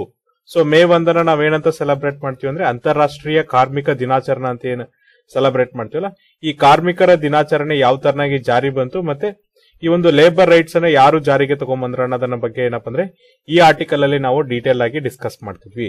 ಅಂದ್ರೆ ಕಾರ್ಮಿಕ ದಿನಾಚರಣೆ ಯಾವ ತರನಾಗಿ ಬಂತು ಮತ್ತೆ ಕಾರ್ಮಿಕರ ಹಕ್ಕುಗಳೇನು ಅನ್ನೋದನ್ನ ನಾವೇನಪ್ಪ ಅಂದ್ರೆ ಇಲ್ಲಿ ಡಿಸ್ಕಸ್ ಮಾಡ್ತಿದ್ವಿ. ಇದು ನೋಡ್ರಿ the erosion of hard and labour rights ಅಂದ್ರೆ ಇತ್ತೀಚೆಗೆ ಏನಾಗ್ತಿದೆ ಅಂದ್ರೆ, ಈಗೇನು ಬಂದಂತ ಕಾರ್ಮಿಕ ಹಕ್ಕುಗಳಿದೆಯಲ್ಲ ಅವೇನಾಗ್ತಿದಾವಪ್ಪ ಅಂದ್ರೆ ಎರೋಜನ್ ಅಂದ್ರೆ ಸವಕಳಿ ಹೊಂತಿದಾವ ಅಂತೇಳಿ ಇಲ್ಲಿ ಆತರ ಏನ್ ಮಾಡ್ತಿದಾರಪ್ಪ ಅಂದ್ರೆ ಆರ್ಗ್ಯೂ ಮಾಡ್ತಿದ್ದಾರೆ.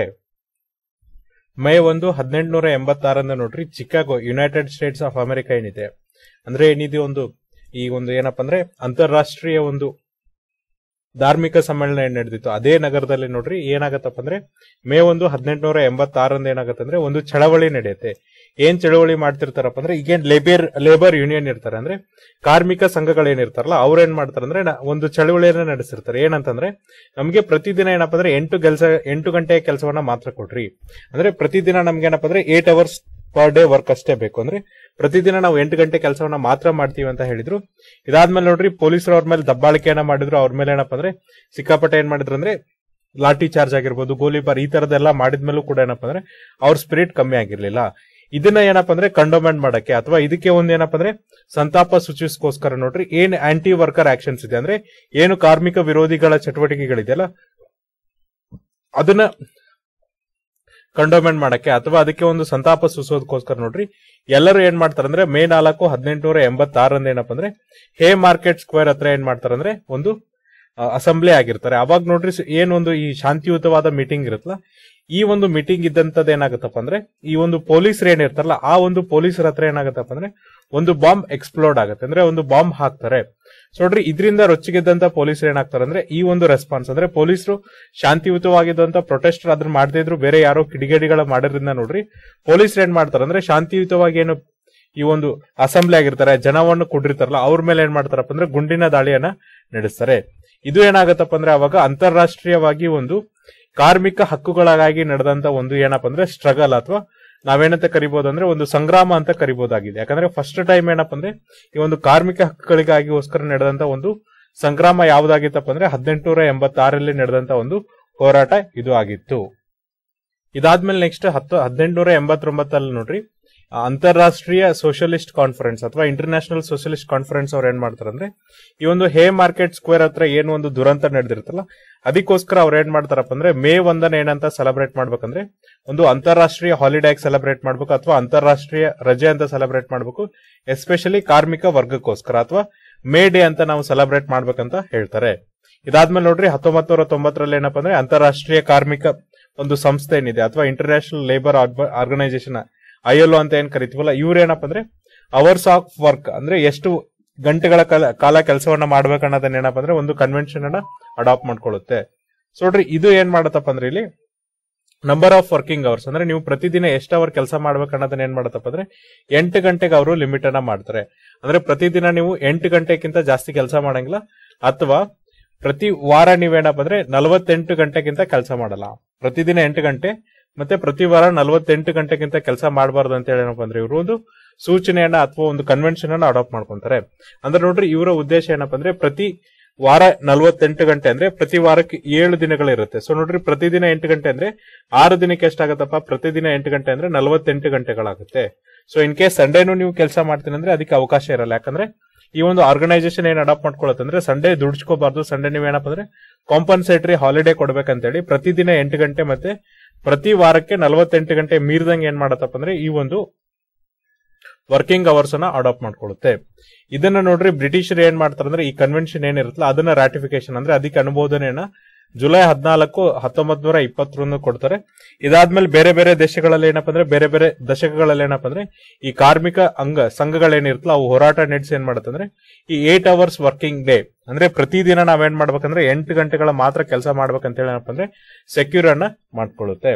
ಇದ್ರ ಜೊತೆಗೆ ನೋಡ್ರಿ ಇವತ್ತೇನಪ್ಪ ಅಂದ್ರೆ ಕೆಲವೊಂದಿಷ್ಟು ಯುರೋಪಿಯನ್ ದೇಶಗಳಾದಂತ ಸ್ವಿಟ್ಜರ್ಲ್ಯಾಂಡ್ ಇರ್ಬೋದು, ಡೆನ್ಮಾರ್ಕ್ ಇರ್ಬೋದು ನೆದರ್ಲ್ಯಾಂಡ್ಸ್ ಇರ್ಬೋದು ಇವ್ರೇನ್ ಮಾಡಿದ್ರು ಅಂದ್ರೆ ಎಂಟು ಗಂಟೆ ಕೆಲಸದ ಅವಧಿಯನ್ನು ಏನ್ ಮಾಡಿದ್ರು ಅಂದ್ರೆ ಕಮ್ಮಿ ಮಾಡಿದ್ರು ಅಂದ್ರೆ ಎಂಟು ಗಂಟೆಗಿಂತ ಏನಪ್ಪ ಅಂದ್ರೆ ಕೆಲಸದ ಅವಧಿಯನ್ನು ಏನಪ್ಪ ಅಂದ್ರೆ ಸ್ವಿಟ್ಜರ್ಲ್ಯಾಂಡ್ನ ದೇಶಗಳಾದಂತ ಸಾರಿ ಯುರೋಪಿನ ದೇಶಗಳಾದಂತ ಸ್ವಿಟ್ಜರ್ಲ್ಯಾಂಡ್, ಡೆನ್ಮಾರ್ಕ್, ನೆದರ್ಲ್ಯಾಂಡ್ಸ್ ಅವರು ಕಮ್ಮಿ ಮಾಡಿದ್ದಾರೆ.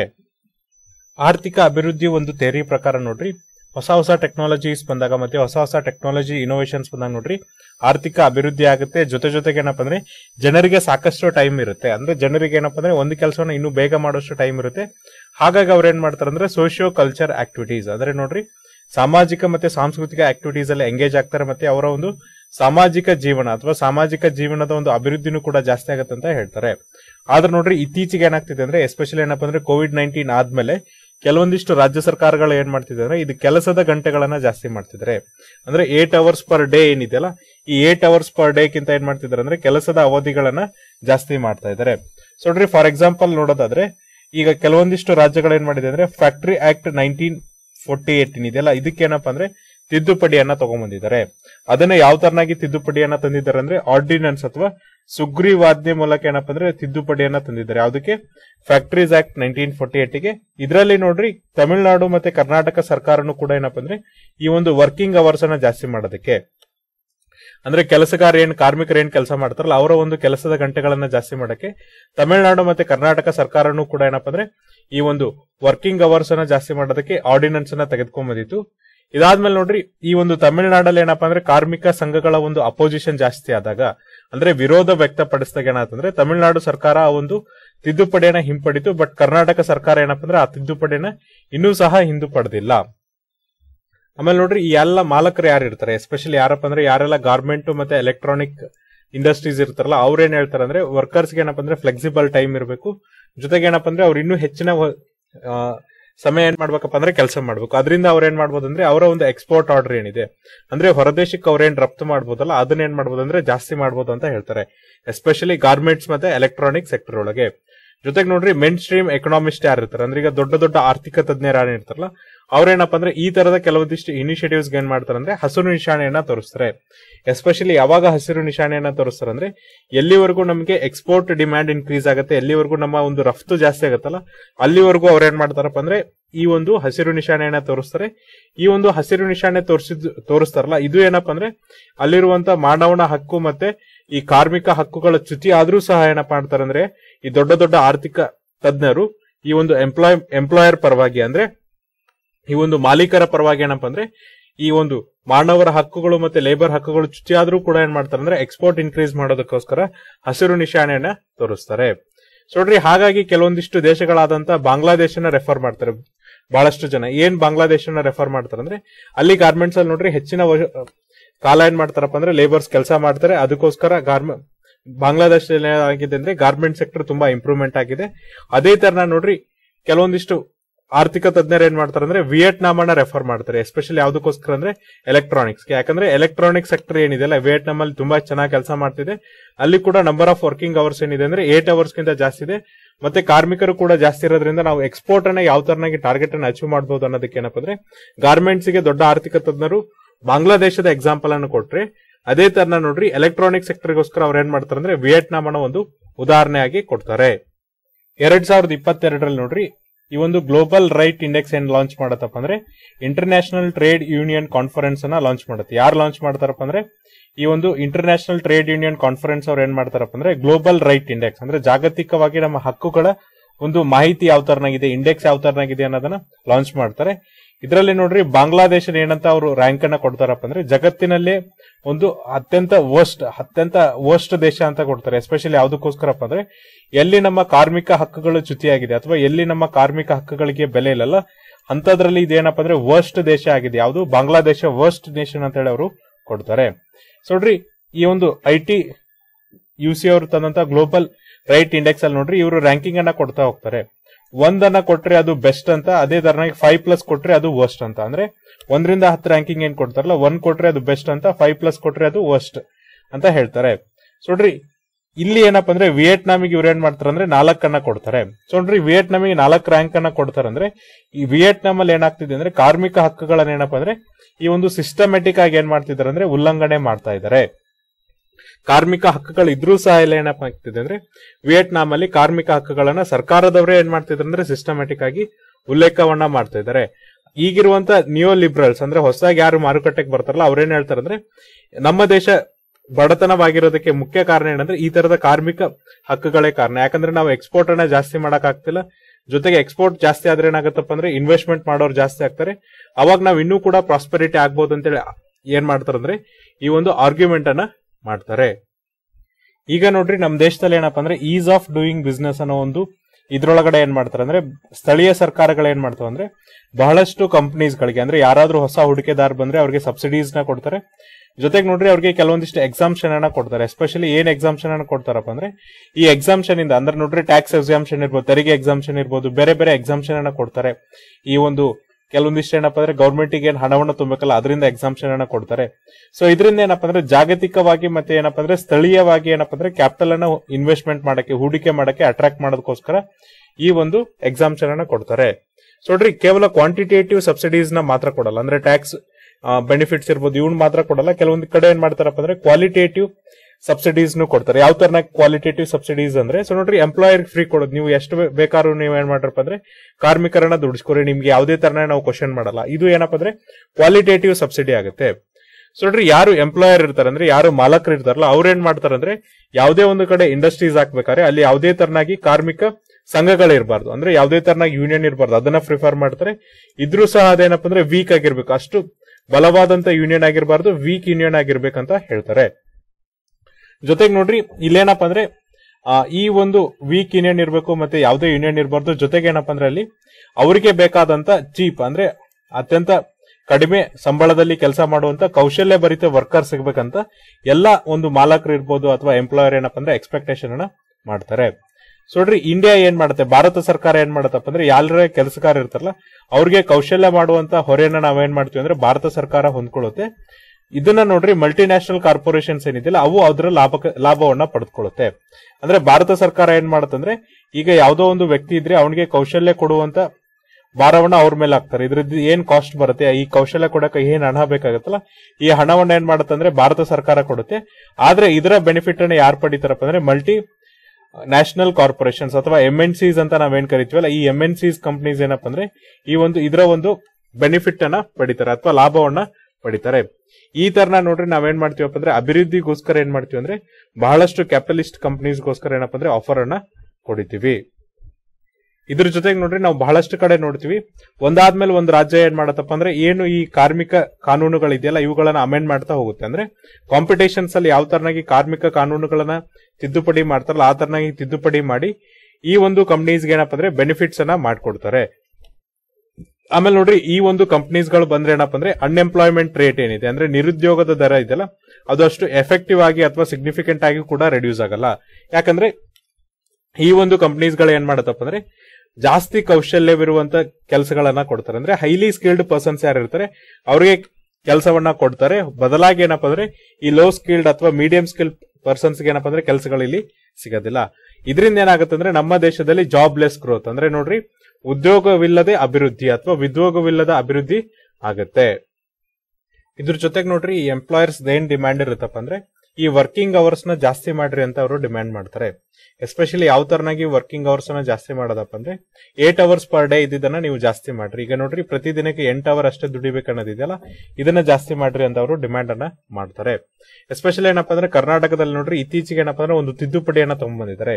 ಈ ನೈನ್ಟೀನ್ ಫೋರ್ಟಿ ಏಟ್ ಏನ್ ಫ್ಯಾಕ್ಟರೀಸ್ ಆಕ್ಟ್ ಇದೆಯಲ್ಲ, ಅದಕ್ಕೆ ತಿದ್ದುಪಡಿಯನ್ನ ತಗೊಂಡ್ಬಂದಿದ್ದಾರೆ.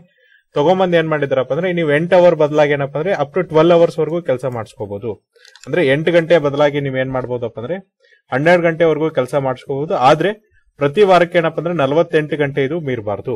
ಸೊ ನೋಡ್ರಿ, ಇದು ನಿಮ್ ಮೇಲೆ ಬಿಟ್ಟಿದ್ದು ಯಾವ ತರನ ಪ್ಲಾನ್ ಮಾಡ್ತೀರಾ? ಸೊ ನೋಡ್ರಿ, ನೀವು ಪ್ರತಿ ದಿನ ಹನ್ನೆರಡು ಗಂಟೆ ಕೆಲಸ ಮಾಡಿಸ್ಕೊಂಡು ನಾಲ್ಕೇ ದಿನ ಕೆಲಸ ಮಾಡಿಸ್ಕೋಬಹುದು ಇನ್ ಮೂರ್ ದಿನ ರಜೆಯನ್ನ ಕೊಡಬಹುದು ಬಟ್ ವಾರಕ್ಕೆ ಏನಪ್ಪ ಅಂದ್ರೆ ನಲವತ್ತೆಂಟು ಗಂಟೆನ ನೀವು ಕೆಲಸ ಮಾಡಿಸ್ಕೋಬೇಕಂತ ಹೇಳ್ತಿದ್ದಾರೆ. ಸೊ ನೋಡ್ರಿ ಇದ್ರ ಜೊತೆಗೆ ಏನಪ್ಪ ಅಂದ್ರೆ ಇನ್ನೂ ಕೆಲವೊಂದಿಷ್ಟು ಕಡೆ ಏನಪ್ಪ ಅಂದ್ರೆ ತ್ರೀ ಶಿಫ್ಟ್ ಇಂದ ಟೂ ಶಿಫ್ಟ್ ರೆಜಿಮಿಗೆ ಶಿಫ್ಟ್ ಆಗ್ತಿದ್ದಾರೆ. ಅಂದ್ರೆ ಮುಂಚೆ ಏನಾಗ್ತಿತ್ತು ಅಂದ್ರೆ ತ್ರೀ ಶಿಫ್ಟ್ ಇರ್ತಿತ್ತು, ಮೂರ್ ಶಿಫ್ಟ್ ಇರ್ತಿತ್ತು. ಬೆಳಗ್ಗೆ, ಮಧ್ಯಾಹ್ನ, ಸಾಯಂಕಾಲ ಅಂತೇಳಿ. ರಾತ್ರಿ ಒಂದು ಸಂಜೆಗೊಂದು ಬೆಳಗ್ಗೆ ಅರ್ಲಿ ಮಾರ್ನಿಂಗ್ ಒಂದಂತೇಳಿ ಶಿಫ್ಟ್ ರೆಜಿಮ್ ಇತ್ತಲ್ಲ eight hours per eight hours per shift ಇದೆ ಮೂರ್ ಶಿಫ್ಟ್ ಇರ್ತಿತ್ತಲ್ಲ, ಇಪ್ಪತ್ನಾಲ್ಕು ಗಂಟೆ ಏನಪ್ಪ ಅಂದ್ರೆ ಮೂರು ಶಿಫ್ಟ್ಗಳಲ್ಲಿ ಮಾಡ್ತಿದ್ರು. ಪ್ರತಿಯೊಂದು ಶಿಫ್ಟಿಗೂ ಏಟ್ ಅವರ್ಸ್ ಬರ್ತಿತ್ತಲ್ಲ ಅದನ್ನ ಬಿಟ್ಟಿಗೆ ಏನಪ್ಪ ಅಂದ್ರೆ ಟ್ವೆಲ್ ಅವರ್ ಶಿಫ್ಟ್ ಮಾಡ್ತಿದ್ರು. ಅಂದ್ರೆ ಪ್ರತಿ ಶಿಫ್ಟ್ ಅಲ್ಲಿ ಕೂಡ ಏನಪ್ಪ ಅಂದ್ರೆ ಹನ್ನೆರಡು ಗಂಟೆ ಕೆಲಸ ಮಾಡ್ಬೇಕಂತ ಹೇಳ್ತಿದ್ದಾರೆ. ಹಾಗಾದ್ರೆ ಇದಕ್ಕಿರುವಂತ ಡಿಮ್ಯಾಂಡ್ ಏನು? ಯಾಕೆ ಈ ತರನಾಗಿ ಡಿಮ್ಯಾಂಡ್ ಅನ್ನ ಮಾಡ್ತಿದ್ದಾರೆ? ಅದಕ್ಕಿರುವಂತ ಆರ್ಥಿಕ ಕಾರಣಗಳೇನು? ಈ ತರನಾಗಿ ಡಿಮ್ಯಾಂಡ್ ಬರ್ಬೇಕಾದ್ರೆ ಕಾರಣ ಏನಿದೆ ಅಂತಂದ್ರೆ ನೋಡ್ರಿ ಇಲ್ಲಿ ವರ್ಕರ್ ಏನ್ ಹೇಳ್ತಾರೆ ಅಥವಾ ಈ ಫ್ಯಾಕ್ಟ್ರಿ ಓನರ್ ಏನ್ ಹೇಳ್ತಾರೆ ಅಂದ್ರೆ, ಈ ತರನಾಗಿ ವರ್ಕ್ ಮಾಡೋದ್ರಿಂದ twelve hour per day, nine hour per day ಮಾಡೋದ್ರಿಂದ ಏನಾಗತ್ತಪ್ಪ ಅಂದ್ರೆ, ವರ್ಕರ್ಸ್ ಪ್ರೊಡಕ್ಟಿವಿಟಿ ಜಾಸ್ತಿ ಆಗುತ್ತೆ. ಜೊತೆಗೆ ನೋಡ್ರಿ, ಟ್ರಾವೆಲಿಂಗ್ ಅಲೌನ್ಸಸ್ ಏನ್ ಕೊಡ್ತಾರಲ್ಲ, ಈ ಟ್ರಾವೆಲಿಂಗ್ ಅಲೌನ್ಸ್ನ ಕಟ್ ಮಾಡಬಹುದು ಟ್ರಾನ್ಸಾಕ್ಷನ್ ಕಾಸ್ಟ್ನ ಕಟ್ ಮಾಡಬಹುದು ಅಂತ ಹೇಳಿ ಎಂಪ್ಲಾಯರ್ ಇಲ್ಲಿ ಹೇಳ್ತಾರೆ. ಅಂದ್ರೆ ಈಗ ಒಬ್ಬ ವ್ಯಕ್ತಿನ ಹನ್ನೆರಡು ತಾಸು ನಾವು ದುಡ್ಸ್ಕೊಂಡ್ಬಿಟ್ರೆ ನೋಡ್ರಿ, ಅವ್ನು ಪ್ರತಿದಿನ ಏನಪ್ಪ ಅಂದ್ರೆ ಒಂದ್ಸರಿ ಬಂದು ಒಂದ್ಸರಿ ಹೋಗ್ತಾನೆ. ಅಡಿಷನಲ್ ಇನ್ನೊಂದು ನಾವು ಏನಪ್ಪ ಅಂದ್ರೆ ಜನಗಳನ್ನ ತರುವ ಅವಶ್ಯಕತೆ ಇರಲ್ಲ. ಇದರಿಂದ ನಮ್ಗೆ ಏನಂದ್ರೆ ಟ್ರಾವೆಲಿಂಗ್ ಅಲೌನ್ಸಸ್ ಏನಿದೆ ಅಥವಾ ಟ್ರಾವೆಲಿಂಗ್ ಕಾಸ್ಟ್ ಏನಿದೆಯಲ್ಲ, ಇದು ಕಟ್ ಆಗುತ್ತೆ ಜೊತೆಗೆ ಟ್ರಾನ್ಸಾಕ್ಷನ್ ಕಾಸ್ಟ್ ಕೂಡ ಕಟ್ ಆಗುತ್ತೆ ಅಂತ ಹೇಳ್ತಾರೆ. ನೋಡ್ರಿ, ಇದ್ರ ಜೊತೆಗೆ ನಾವೇನು ಡಿಸ್ಕಸ್ ಮಾಡೋಣ ಅಂದ್ರೆ, ಈಗ ಕೇವಲ ಸಿಂಪ್ಲಿ ಏನಪ್ಪ ಅಂದ್ರೆ ನಂಬರ್ ಆಫ್ ವರ್ಕಿಂಗ್ ಅವರ್ಸ್ ಜಾಸ್ತಿ ಮಾಡೋದ್ರಿಂದ ನಿಮಗೆ ಪ್ರೊಡಕ್ಟಿವಿಟಿ ಜಾಸ್ತಿ ಆಗುತ್ತೆ. ಯಾಕಂದ್ರೆ ಇದು ಫಂಡಮೆಂಟಲ್ ಕ್ವಶನ್ಸ್ ಈಗ ನೋಡ್ರಿ, ಒಬ್ಬ ವರ್ಕರ್ ಪ್ರೊಡಕ್ಟಿವಿಟಿ ಜಾಸ್ತಿ ಆಗ್ಬೇಕಾದ್ರೆ ಕೇವಲ ನಿಮಗೆ ನಂಬರ್ ಆಫ್ ವರ್ಕಿಂಗ್ ಅವರ್ಸ್ ಜಾಸ್ತಿ ಮಾಡಿದ್ರೆ ಅಲ್ಲಿರುವಂತ ಉತ್ಪಾದಕತೆ ಜಾಸ್ತಿ ಆಗತ್ತೆ ಅಂದ್ರೆ ಆಗಲ್ಲ. ನಿಮಗೆ ನಾನು ಎಕ್ಸಾಂಪಲ್ ಕೊಡ್ತಾ ಹೋಗ್ತೀನಿ. ಈಗ ನೋಡ್ರಿ, ಜಪಾನ್ ಇರ್ಬೋದು ನ್ಯೂಜಿಲೆಂಡ್ ಇರ್ಬೋದು, ಬೇರೆ ಬೇರೆ ದೇಶಗಳಲ್ಲಿ ಏನಪ್ಪ ಅಂದ್ರೆ ಫೋರ್ ಡೇ ಪರ್ ವರ್ಕ್ ಅಂದ್ರೆ ಪ್ರತಿ ವಾರಕ್ಕೆ ನೀವು ನಾಲ್ಕೇ ದಿನ ಕೆಲಸ ಮಾಡ್ಬೇಕಂತ ಹೇಳ್ತಾರೆ. ಸೊ ನಾನು ಒಂದು ವರದಿಯನ್ನ ನಿಮ್ಗೆ ಹೇಳ್ತಾ ಹೋಗ್ತೀನಿ. ಸೊ ನೋಡ್ರಿ, ಎರಡ್ ಸಾವಿರದ ಹತ್ತೊಂಬತ್ತರಲ್ಲಿ ಏನಪ್ಪ ಅಂದ್ರೆ ಈ ಜಪಾನಿನ ಏನಪ್ಪ ಅಂದ್ರೆ ಮೈಕ್ರೋಸಾಫ್ಟ್ ಅವ್ರು ಏನ್ ಮಾಡಿದ್ರೆ ಅಂದ್ರೆ ಫೋರ್ ಡೇ ವರ್ಕಿಂಗ್ ಪಾಲಿಸೀಸ್ನ ತರ್ತಾರೆ. ಅಂದ್ರೆ ಪ್ರತಿ ವಾರಕ್ಕೆ ನಾಲ್ಕೈದು ದಿನ ನೀವು ಕೆಲಸ ಮಾಡ್ಬೇಕಂತ ಹೇಳ್ತಾರೆ. ಅವಾಗ ನೋಡ್ರಿ ಅವ್ರ ವರ್ಕಿಂಗ್ ಪ್ರೊಡಕ್ಟಿವಿಟಿ ಎಷ್ಟು ಜಾಸ್ತಿ ಆಗುತ್ತೆ ಅಂದ್ರೆ ಮೂವತ್ತೊಂಬತ್ತು ಪಾಯಿಂಟ್ ಒಂಬತ್ತು ಪರ್ಸೆಂಟ್ ಜಾಸ್ತಿ ಆಗುತ್ತೆ. ಅಂದ್ರೆ ಅವ್ರೇನ್ ಕೆಲಸ ಮಾಡ್ತಿದ್ರಲ್ಲ ಅದಕ್ಕಿಂತ ನಲ್ವತ್ತು ಪರ್ಸೆಂಟ್ ಹೆಚ್ಚು ಕೆಲಸ ಮಾಡಕ್ ಸ್ಟಾರ್ಟ್ ಮಾಡ್ತಾರೆ. ಯಾಕಂದ್ರೆ ನೋಡ್ರಿ ಕಡಿಮೆ ಅವಧಿಯಲ್ಲಿ ಏನಪ್ಪ ಅಂದ್ರೆ ಹೆಚ್ಚು ಕೆಲಸ ಮಾಡೋದ್ರಿಂದ. ಅಂದ್ರೆ ನಿಮಗೆ ನೆಕ್ಸ್ಟ್ ತ್ರೀ ಡೇಸ್ ಏನಾಗುತ್ತಂದ್ರೆ ರಜೆ ಸಿಗುತ್ತೆ ಅನ್ನೋ ಒಂದೇ ಒಂದು ಉದ್ದೇಶಕ್ಕೋಸ್ಕರ ಏನಪ್ಪ ಅಂದ್ರೆ ಇನ್ನು ಹೆಚ್ಚು ಕೆಲಸ ಮಾಡೋದ್ರಿಂದ ಏನಪ್ಪ ಅಂದ್ರೆ ನಲ್ವತ್ತು ಪರ್ಸೆಂಟ್ ಅವರ ಪ್ರೊಡಕ್ಟಿವಿಟಿ ಜಾಸ್ತಿ ಆಗುತ್ತೆ. ಜೊತೆಗೆ ನೋಡ್ರಿ, ಅವ್ರ ವರ್ಕ್ ಲೈಫ್ ಬ್ಯಾಲೆನ್ಸ್ ಆಗುತ್ತೆ. ಜೊತೆಗೆ ಏನಪ್ಪ ಅಂದ್ರೆ ಅವರ ಫ್ಯಾಮಿಲಿ ಲೈಫ್ ಬ್ಯಾಲೆನ್ಸ್ ಆಗುತ್ತೆ. ಅವರ ಸೊಸೈಟಿಯಲ್ ಲೈಫ್ ಬ್ಯಾಲೆನ್ಸ್ ಆಗುತ್ತೆ. ಈ ತರನಾದಂತ ಪಾಲಿಸೀಸ್ ತರಬೇಕು. ಅವಾಗ ಮಾತ್ರ ಏನಾಗುತ್ತೆ ಅಂದ್ರೆ ವರ್ಕರ್ಸ್ ಪ್ರೊಡಕ್ಟಿವಿಟಿ ಏನಿದೆಯಲ್ಲ ಅದು ಜಾಸ್ತಿ ಆಗುತ್ತೆ. ಸೊ ನೋಡ್ರಿ, ಇಲ್ಲಿ ನಾಲ್ಕು ದಿನ ಕೆಲಸ ಮಾಡ್ತಿದ್ದೀನಿ ಅಂತ ಅವರು ಪ್ರತಿದಿನ ಏನಪ್ಪ ಅಂದ್ರೆ ಹನ್ನೆರಡು ಗಂಟೆ ದುಡಿಸ್ಕೋತಾ ಇಲ್ಲ. ಬದಲಾಗಿ ಅವ್ರು ಏನ್ ಮಾಡ್ತಿದ್ದಾರೆ ಅಂದ್ರೆ ಪ್ರತಿದಿನ ಎಂಟೇ ಗಂಟೆ ದುಡಿಸ್ಕೋತಿದ್ದಾರೆ. ಹಾಗಾಗಿ ಅಲ್ಲಿ ಪ್ರೊಡಕ್ಟಿವಿಟಿ ಎಷ್ಟು ಜಾಸ್ತಿ ಆಗಿದೆ ಅಂದ್ರೆ ಮೂವತ್ತೊಂಬತ್ತು ಪಾಯಿಂಟ್ ಒಂಬತ್ತು ಪರ್ಸೆಂಟ್ ಅಥವಾ ನಲ್ವತ್ತು ಪರ್ಸೆಂಟ್ ಪ್ರೊಡಕ್ಟಿವಿಟಿ ಜಾಸ್ತಿ ಆಗಿದೆ. ಇದೇ ತರ ತದನಂತರ ಸರ್ವೆ ಏನಪ್ಪ ಅಂದ್ರೆ ನ್ಯೂಜಿಲೆಂಡ್ ಅಲ್ಲಿ ಕಂಡಕ್ಟ್ ಮಾಡಿದಾಗ ಅಲ್ಲಿ ವರ್ಕರ್ ಪ್ರೊಡಕ್ಟಿವಿಟಿ ನೋಡ್ರಿ ಇಪ್ಪತ್ತು ಪರ್ಸೆಂಟ್ ಜಾಸ್ತಿ ಆಗುತ್ತೆ. ಅಂದ್ರೆ ಅವರೇ ನಾರ್ಮಲ್ ಕೆಲಸ ಮಾಡ್ತಿದ್ರಲ್ಲ, ಅದಕ್ಕಿಂತ ಇಪ್ಪತ್ತು ಪರ್ಸೆಂಟ್ ಆಸಕ್ತಿಯಾಗಿ ಕೆಲಸಗಳನ್ನ ಮಾಡ್ತಿದ್ರು. ಹಾಗಾಗಿ ಯಾರೇ ಪಾಲಿಸೀಸ್ನ ಫ್ರೇಮ್ ಮಾಡ್ಬೇಕಾದ್ರೆ ಕೇವಲ ಏನಪ್ಪ ಅಂದ್ರೆ ವರ್ಕಿಂಗ್ ಅವರ್ಸ್ ಅನ್ನ ಜಾಸ್ತಿ ಮಾಡೋದ್ರಿಂದ ನಿಮಗೆ ಪ್ರೊಡಕ್ಟಿವಿಟಿ ಅಥವಾ ಉತ್ಪಾದಕತೆ ಜಾಸ್ತಿ ಆಗುತ್ತೆ ಅಂತ ಹೇಳಕ್ಕಾಗಲ್ಲ. ಅದ್ರ ಬದಲಾಗಿ ಬೇರೆ ಅಡ್ವರ್ಸ್ ಫ್ಯಾಕ್ಟರ್ ಕೂಡ ಇರ್ತವೆ. ಅಂದ್ರೆ ನೋಡ್ರಿ ವರ್ಕಿಂಗ್ ಅವರ್ಸ್ ಜಾಸ್ತಿ ಆಗೋದ್ರಿಂದ ಏನಪ್ಪ ಅಂದ್ರೆ ಲಾಂಗ್ ಸ್ಟ್ರೇನ್ ಆಗುತ್ತೆ ವರ್ಕರ್ ಪ್ರೊಡಕ್ಟಿವಿಟಿ ಕಮ್ಮಿ ಆಗ್ಬೋದು, ಅಲ್ಲಿ ನಿಮಗೆ ಕ್ವಾಲಿಟಿ ಪ್ರಾಡಕ್ಟ್ ಬರದೇ ಇರ್ಬೋದು. ಸೊ ನಾವು ಜಸ್ಟ್ ಕ್ವಾಂಟಿಟಿ ನೋಡಕ್ ಹೋದ್ರೆ ಕ್ವಾಲಿಟಿ ಏನಿರುತ್ತಲ್ಲ ಆ ಕ್ವಾಲಿಟಿನ ಕಳ್ಕೊಳ್ಬೇಕಾಗತ್ತೆ ಹಾಗಾಗಿ ಸರ್ಕಾರ ಯೋಚನೆ ಮಾಡ್ಬೇಕಾದ್ರೆ ಈ ಒಂದು ರಿಸಲ್ಟ್ಸ್ ಓರಿಯೆಂಟೆಡ್ ಅಥವಾ ಈ ವರದಿಗಳನ್ನ ಇಟ್ಕೊಂಡು ಯೋಜನೆಗಳನ್ನ ಮಾಡಬೇಕಾಗತ್ತೆ. ಅದನ್ನೇ ನೀವು ನೋಡ್ರಿ ಕಾರ್ಮಿಕರಿಂದ ಕನ್ಸಿಡರ್ ಮಾಡಿದಾಗ, ಈಗ twelve hours working per day ಇದೆಯಲ್ಲ, ಅದನ್ನೇ ನೀವು ಏಟ್ ಅವರ್ಸ್ ಕನ್ಸಿಡರ್ ಮಾಡಿದಾಗ ಕೆಲವೊಬ್ರು ವರ್ಕರ್ ಏನಪ್ಪ ಅಂದ್ರೆ, ಇಟ್, ಪ್ರತಿದಿನ ಏನಪ್ಪ ಅಂದ್ರೆ ಎರಡು ಗಂಟೆ ಏನ್ ಮಾಡ್ತಾರೆ ಅಂದ್ರೆ ಟ್ರಾವೆಲ್ ಮಾಡೋದಕ್ಕೆ ಸಮಯವನ್ನ ಕಳಿಸ್, ಕಳೀತಾರೆ. ಇದರಿಂದ ಏನಪ್ಪ ಅಂದ್ರೆ ಅವರು ಹದಿನಾಲ್ಕು ಗಂಟೆ ಏನಪ್ಪ ಅಂದ್ರೆ ಮನೆಯಿಂದನೇ ಆಚೆ ಕಡೆ ಇರ್ತಾರೆ. ಅಂದ್ರೆ ಕೆಲ್ಸಕ್ಕೆ ಹೋದ್ರೆ ಮನೆಯಿಂದ ಹದಿನಾಲ್ಕು ಗಂಟೆ ಆಚೆ ಕಡೆ ಇರ್ತಾರೆ. ಸೊ ನೋಡ್ರಿ, ಎಂಟು ಅವರ್ ಕೆಲಸ ಅಂತ ತಿಳ್ಕೊಂಡ್ರೆ ನೀವು ಪ್ರತಿದಿನ ಅವರು ಹನ್ನೆರಡು ಗಂಟೆ ಏನ್ ಮಾಡ್ತಾರಪ್ಪ ಅಂದ್ರೆ ಕೇವಲ ಈ ಒಂದು ಕೆಲಸ ಮತ್ತೆ ಟ್ರಾವೆಲಿಂಗ್ ಅಲ್ಲೇ ಕಳೀತಾರೆ. ಯಾಕಂದ್ರೆ ಎರಡು ಗಂಟೆ ಏನಾಗತ್ತಪ್ಪ ಅಂದ್ರೆ ಕೇವಲ ಟ್ರಾವೆಲಿಂಗ್ ಮಾಡಕ್ಕೆ ಸಮಯ ತೆಗೆದುಕೊಳ್ಳುತ್ತೆ. ಹಾಗಾಗಿ ನೋಡ್ರಿ, ಏನಾಗತ್ತಂದ್ರೆ ಅವರು at the end of the day ಅಂದ್ರೆ ಈಗ ಆ ಒಂದು ಕೆಲಸ ಮುಗಿದ್ಮೇಲೆ ಮನೆ ಬಂದಾಗ ಏನಾಗಿದ್ರೆ ಅಂದ್ರೆ ಸುಸ್ತಾಗಿರ್ತಾರೆ. ಇದು ಏನಪ್ಪ ಅಂದ್ರೆ ಯುವ ಕಾರ್ಮಿಕರು ಯಾರಿದ್ದಾರೆ ಅಥವಾ ಯುವ ಕೆಲಸಗಾರ ಏನಿದ್ದಾರೆ ಅವ್ರಿಗೂ ಕೂಡ ಅಪ್ಲಿಕೇಬಲ್ ಆಗುತ್ತೆ. ಹಾಗಾಗಿ ನೋಡ್ರಿ, ಅವರ ಪ್ರೊಡಕ್ಟಿವಿಟಿ ಏನಿದೆ, ಅಂದ್ರೆ ಉತ್ಪಾದಕತೆ ಏನಿದೆಯಲ್ಲ ಆ ಉತ್ಪಾದಕತೆ ಜಾಸ್ತಿ ಆಗಲ್ಲ. ಇದರಿಂದ ಏನಪ್ಪ ಅಂದ್ರೆ ಯಾರು ಎಂಪ್ಲಾಯರ್ ಇದಾರೆ, ಅಂದ್ರೆ ಯಾರು ಮಾಲಕರು ಇದಾರಲ್ಲ, ಅವ್ರಿಗೂ ಕೂಡ ಏನಪ್ಪ ಅಂದ್ರೆ ಬೆನಿಫಿಟ್ ಆಗಲ್ಲ. ಹಾಗಾಗಿ ನೋಡ್ರಿ ವರ್ಕರ್ಸ್ ಏಜ್ ಏನಿದೆ, ಅದು ನಿಮ್ಗೆ ಲೆಸ್ ಎಫಿಷಿಯಂಟ್ ಆಗುತ್ತೆ. ಅಂದ್ರೆ ಯುವ ಕಾರ್ಮಿಕರು ಹೊಂದಿದ್ರೆ ಹೆಚ್ಚು ಚೆನ್ನಾಗಿ ಕೆಲಸ ಮಾಡಬಹುದು ಹೆಚ್ಚು ಎಫಿಷಿಯಂಟ್ ಆಗಿ ಕೆಲಸ ಮಾಡಬಹುದು ಅನ್ನೋದೇನಿದೆಯಲ್ಲ ಅದು ನಿಮಗೆ ಕಮ್ಮಿ ಆಗುತ್ತೆ. ಬದಲಾಗಿ ಏನಾಗುತ್ತೆ ಅಂದ್ರೆ ಅಲ್ಲಿ ನಿಮ್ಗೆ ಉತ್ಪಾದಕತೆ ಇಲ್ಲದೆ, ಅಂದ್ರೆ ಪ್ರೊಡಕ್ಟಿವಿಟಿ ಇಲ್ಲದ ಕೆಲಸಗಳಾಗುತ್ತೆ. ಜೊತೆಗೆ ನೋಡ್ರಿ ಕೆಲವೊಂದ್ ಟೈಮ್ ಏನಪ್ಪ ಅಂದ್ರೆ ಈ ತರನಾಗಿ ನಿಮಗೆ ತುಂಬಾ ಸುಸ್ತಾದಂತ ವರ್ಕರ್ಸ್ ಇರೋದ್ರಿಂದ ನಿಮಗೆ ಈ ಒಂದು ಇಂಡಸ್ಟ್ರಿಯಲ್ ಆಕ್ಸಿಡೆಂಟ್ಸ್ ಅಂದ್ರೆ ನೋಡ್ರಿ ಕಾರ್ಖಾನೆಗಳಲ್ಲಿ ದುರಂತ ಆಗುವಂತ ಸಂಭವಗಳು ಕೂಡ ಜಾಸ್ತಿ ಇರುತ್ತೆ. ಸೊ ಈಗಿರುವಂತ ಸಮಸ್ಯೆಗಳೇನು ಚಾಲೆಂಜಿಂಗ್ ಏನಂದ್ರೆ ಸೊ ನೋಡ್ರಿ ನಾವೇನ್ ಮಾಡ್ತಿದ್ವಿ ಅಂದ್ರೆ ನಂಬರ್ ಆಫ್ ವರ್ಕಿಂಗ್ ಅವರ್ಸ್ ಅಂದ್ರೆ ಈ ಒಂದು ವರ್ಕರ್ಸ್ ಏನಪ್ಪ ಅಂದ್ರೆ ಕೆಲಸದ ಗಂಟೆಗಳು ಜಾಸ್ತಿ ಮಾಡಿ ಅಲ್ಲೇನಪ್ಪ ಅಂದ್ರೆ ಜಾಬ್ ಇನ್ಸೆಕ್ಯೂರಿಟಿ ಫೀಲಿಂಗ್ ಅನ್ನು ಕೂಡ ಜಾಸ್ತಿ ಮಾಡ್ತಿದ್ವಿ. ಅಂದ್ರೆ ಅವರು ಉತ್ಪಾದಕತೆ ಕಮ್ಮಿ ಆಗುತ್ತೆ. ಹಾಗಾಗಿ ಅವ್ರಿಗೆ ಏನಪ್ಪ ಅಂದ್ರೆ ಜಾಬ್ ಸೆಕ್ಯೂರಿಟಿ ಏನಿರುತ್ತೆ, ಭದ್ರತೆ ಇರುತ್ತಲ್ಲ, ಆ ಭದ್ರ ಅಭದ್ರತೆನ ಜಾಸ್ತಿ ಮಾಡ್ತಿದ್ವಿ.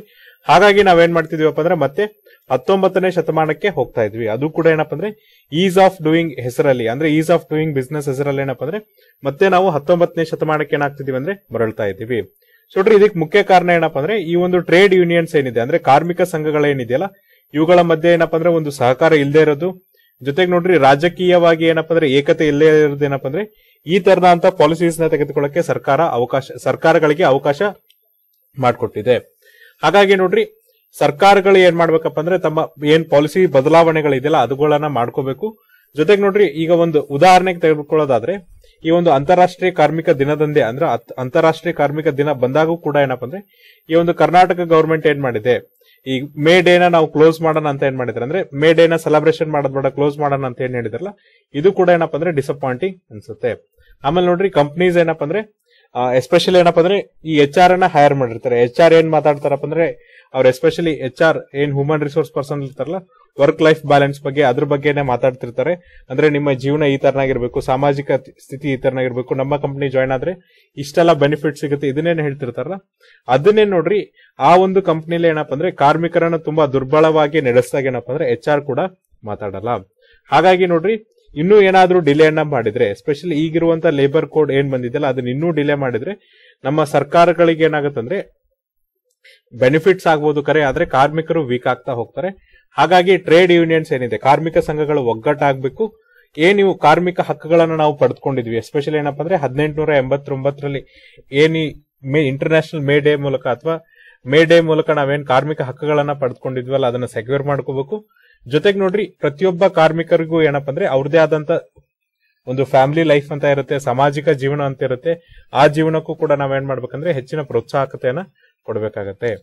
ಸೊ ಇಲ್ಲಿ ನಮ್ಮ ಪಾಯಿಂಟ್ ಏನಪ್ಪಾ ಅಂದ್ರೆ ಸೊ ನೋಡ್ರಿ ನೀವು ವರ್ಕಿಂಗ್ ಅವರ್ಸ್ ಜಾಸ್ತಿ ಮಾಡಿ ನಂಬರ್ ಆಫ್ ಡೇಸ್ ಅನ್ನ ಕಮ್ಮಿ ಮಾಡಿದ್ರು ಪ್ರೊಡಕ್ಟಿವಿಟಿ ಜಾಸ್ತಿ ಆಗಲ್ಲ. ವರ್ಕಿಂಗ್ ಅವರ್ಸ್ ಅನ್ನ ಅಷ್ಟೇ ಇಟ್ಟು ನಂಬರ್ ಆಫ್ ಡೇಸ್ ಅನ್ನ ಕಮ್ಮಿ ಮಾಡಿದ್ರೆ, ಅಂದ್ರೆ ನೋಡ್ರಿ ನಾಲ್ಕು ದಿನ ಕೆಲಸ ಇಟ್ಟು ಏಟ್ ಅವರ್ಸ್ ಪರ್ ಡೇ ಮಾಡಿದ್ರೆ ನಿಮ್ಗೆ ಇಲ್ಲಿ ಪ್ರೊಡಕ್ಟಿವಿಟಿ ಜಾಸ್ತಿ ಇರುತ್ತೆ. ಅದೇ ನಾಲ್ಕು ದಿನ ಕೆಲಸ ಇಟ್ಟು ಹಂಡ್ರೆಡ್ ಅವರ್ ಪರ್ ಡೇ ಮಾಡಿದ್ರೆ ನಿಮಗೆ ಪ್ರೊಡಕ್ಟಿವಿಟಿ ಜಾಸ್ತಿ ಆಗಲ್ಲ. ಹಾಗಾಗಿ ನೋಡ್ರಿ ನೆಕ್ಸ್ಟ್ ಟೈಮ್ ಸರ್ಕಾರ ಏನಾದ್ರೂ ಯೋಜನೆಗಳು ಮಾಡ್ಬೇಕಾದ್ರೆ ಅಂತಾರಾಷ್ಟ್ರೀಯ ವರದಿಗಳೇನಿದೆ ಎಸ್ಪೆಷಲಿ ಕಾರ್ಮಿಕರ ಉತ್ಪಾದಕತೆ ಮೇಲೆ ಅಂತಾರಾಷ್ಟ್ರೀಯ ವರದಿಗಳಿದೆಯಲ್ಲ, ಆ ವರದಿಗಳನ್ನ ಕನ್ಸಿಡರ್ ಮಾಡಿಕೊಂಡು ಒಂದು ಯೋಜನೆಯನ್ನ ಮಾಡಿದ್ರೆ ಕಾರ್ಮಿಕರ ಉತ್ಪಾದಕತೆನೂ ಜಾಸ್ತಿ ಆಗುತ್ತೆ. ಜೊತೆ ಜೊತೆಗೆ ಏನಪ್ಪಾ ಅಂದ್ರೆ ಸರ್ಕಾರಕ್ಕೆ ಹೆಚ್ಚಿನ ಲಾಭ ಬರುತ್ತೆ, ಮತ್ತೆ ಯಾರು ಎಂಪ್ಲಾಯರ್ ಇರ್ತಾರೆ, ಅಂದ್ರೆ ಯಾರು ಮಾಲೀಕರು ಇರ್ತಾರಲ್ಲ, ಅವ್ರಿಗೂ ಕೂಡ ಏನಪ್ಪಾ ಅಂದ್ರೆ ಉತ್ಪಾದಕತೆ ಜಾಸ್ತಿ ಆಗುತ್ತೆ. ಸೊ ಇದು ಏನಪ್ಪಾ ಅಂದ್ರೆ ಇವತ್ತಿನ ಒಂದು ಹಿಂದೂ ಅನಾಲಿಸಿಸ್ ನಾಳೆ ಮತ್ತೊಂದಿಷ್ಟು ಆರ್ಟಿಕಲ್ಸ್ ಮತ್ತೆ ಎಡಿಟೋರ್ನ ಡಿಸ್ಕಸ್ ಮಾಡೋಣ. ಅಲ್ಲಿವರೆಗೂ ನೋಡ್ತಾ ಇರಿ classic education YouTube channel thank you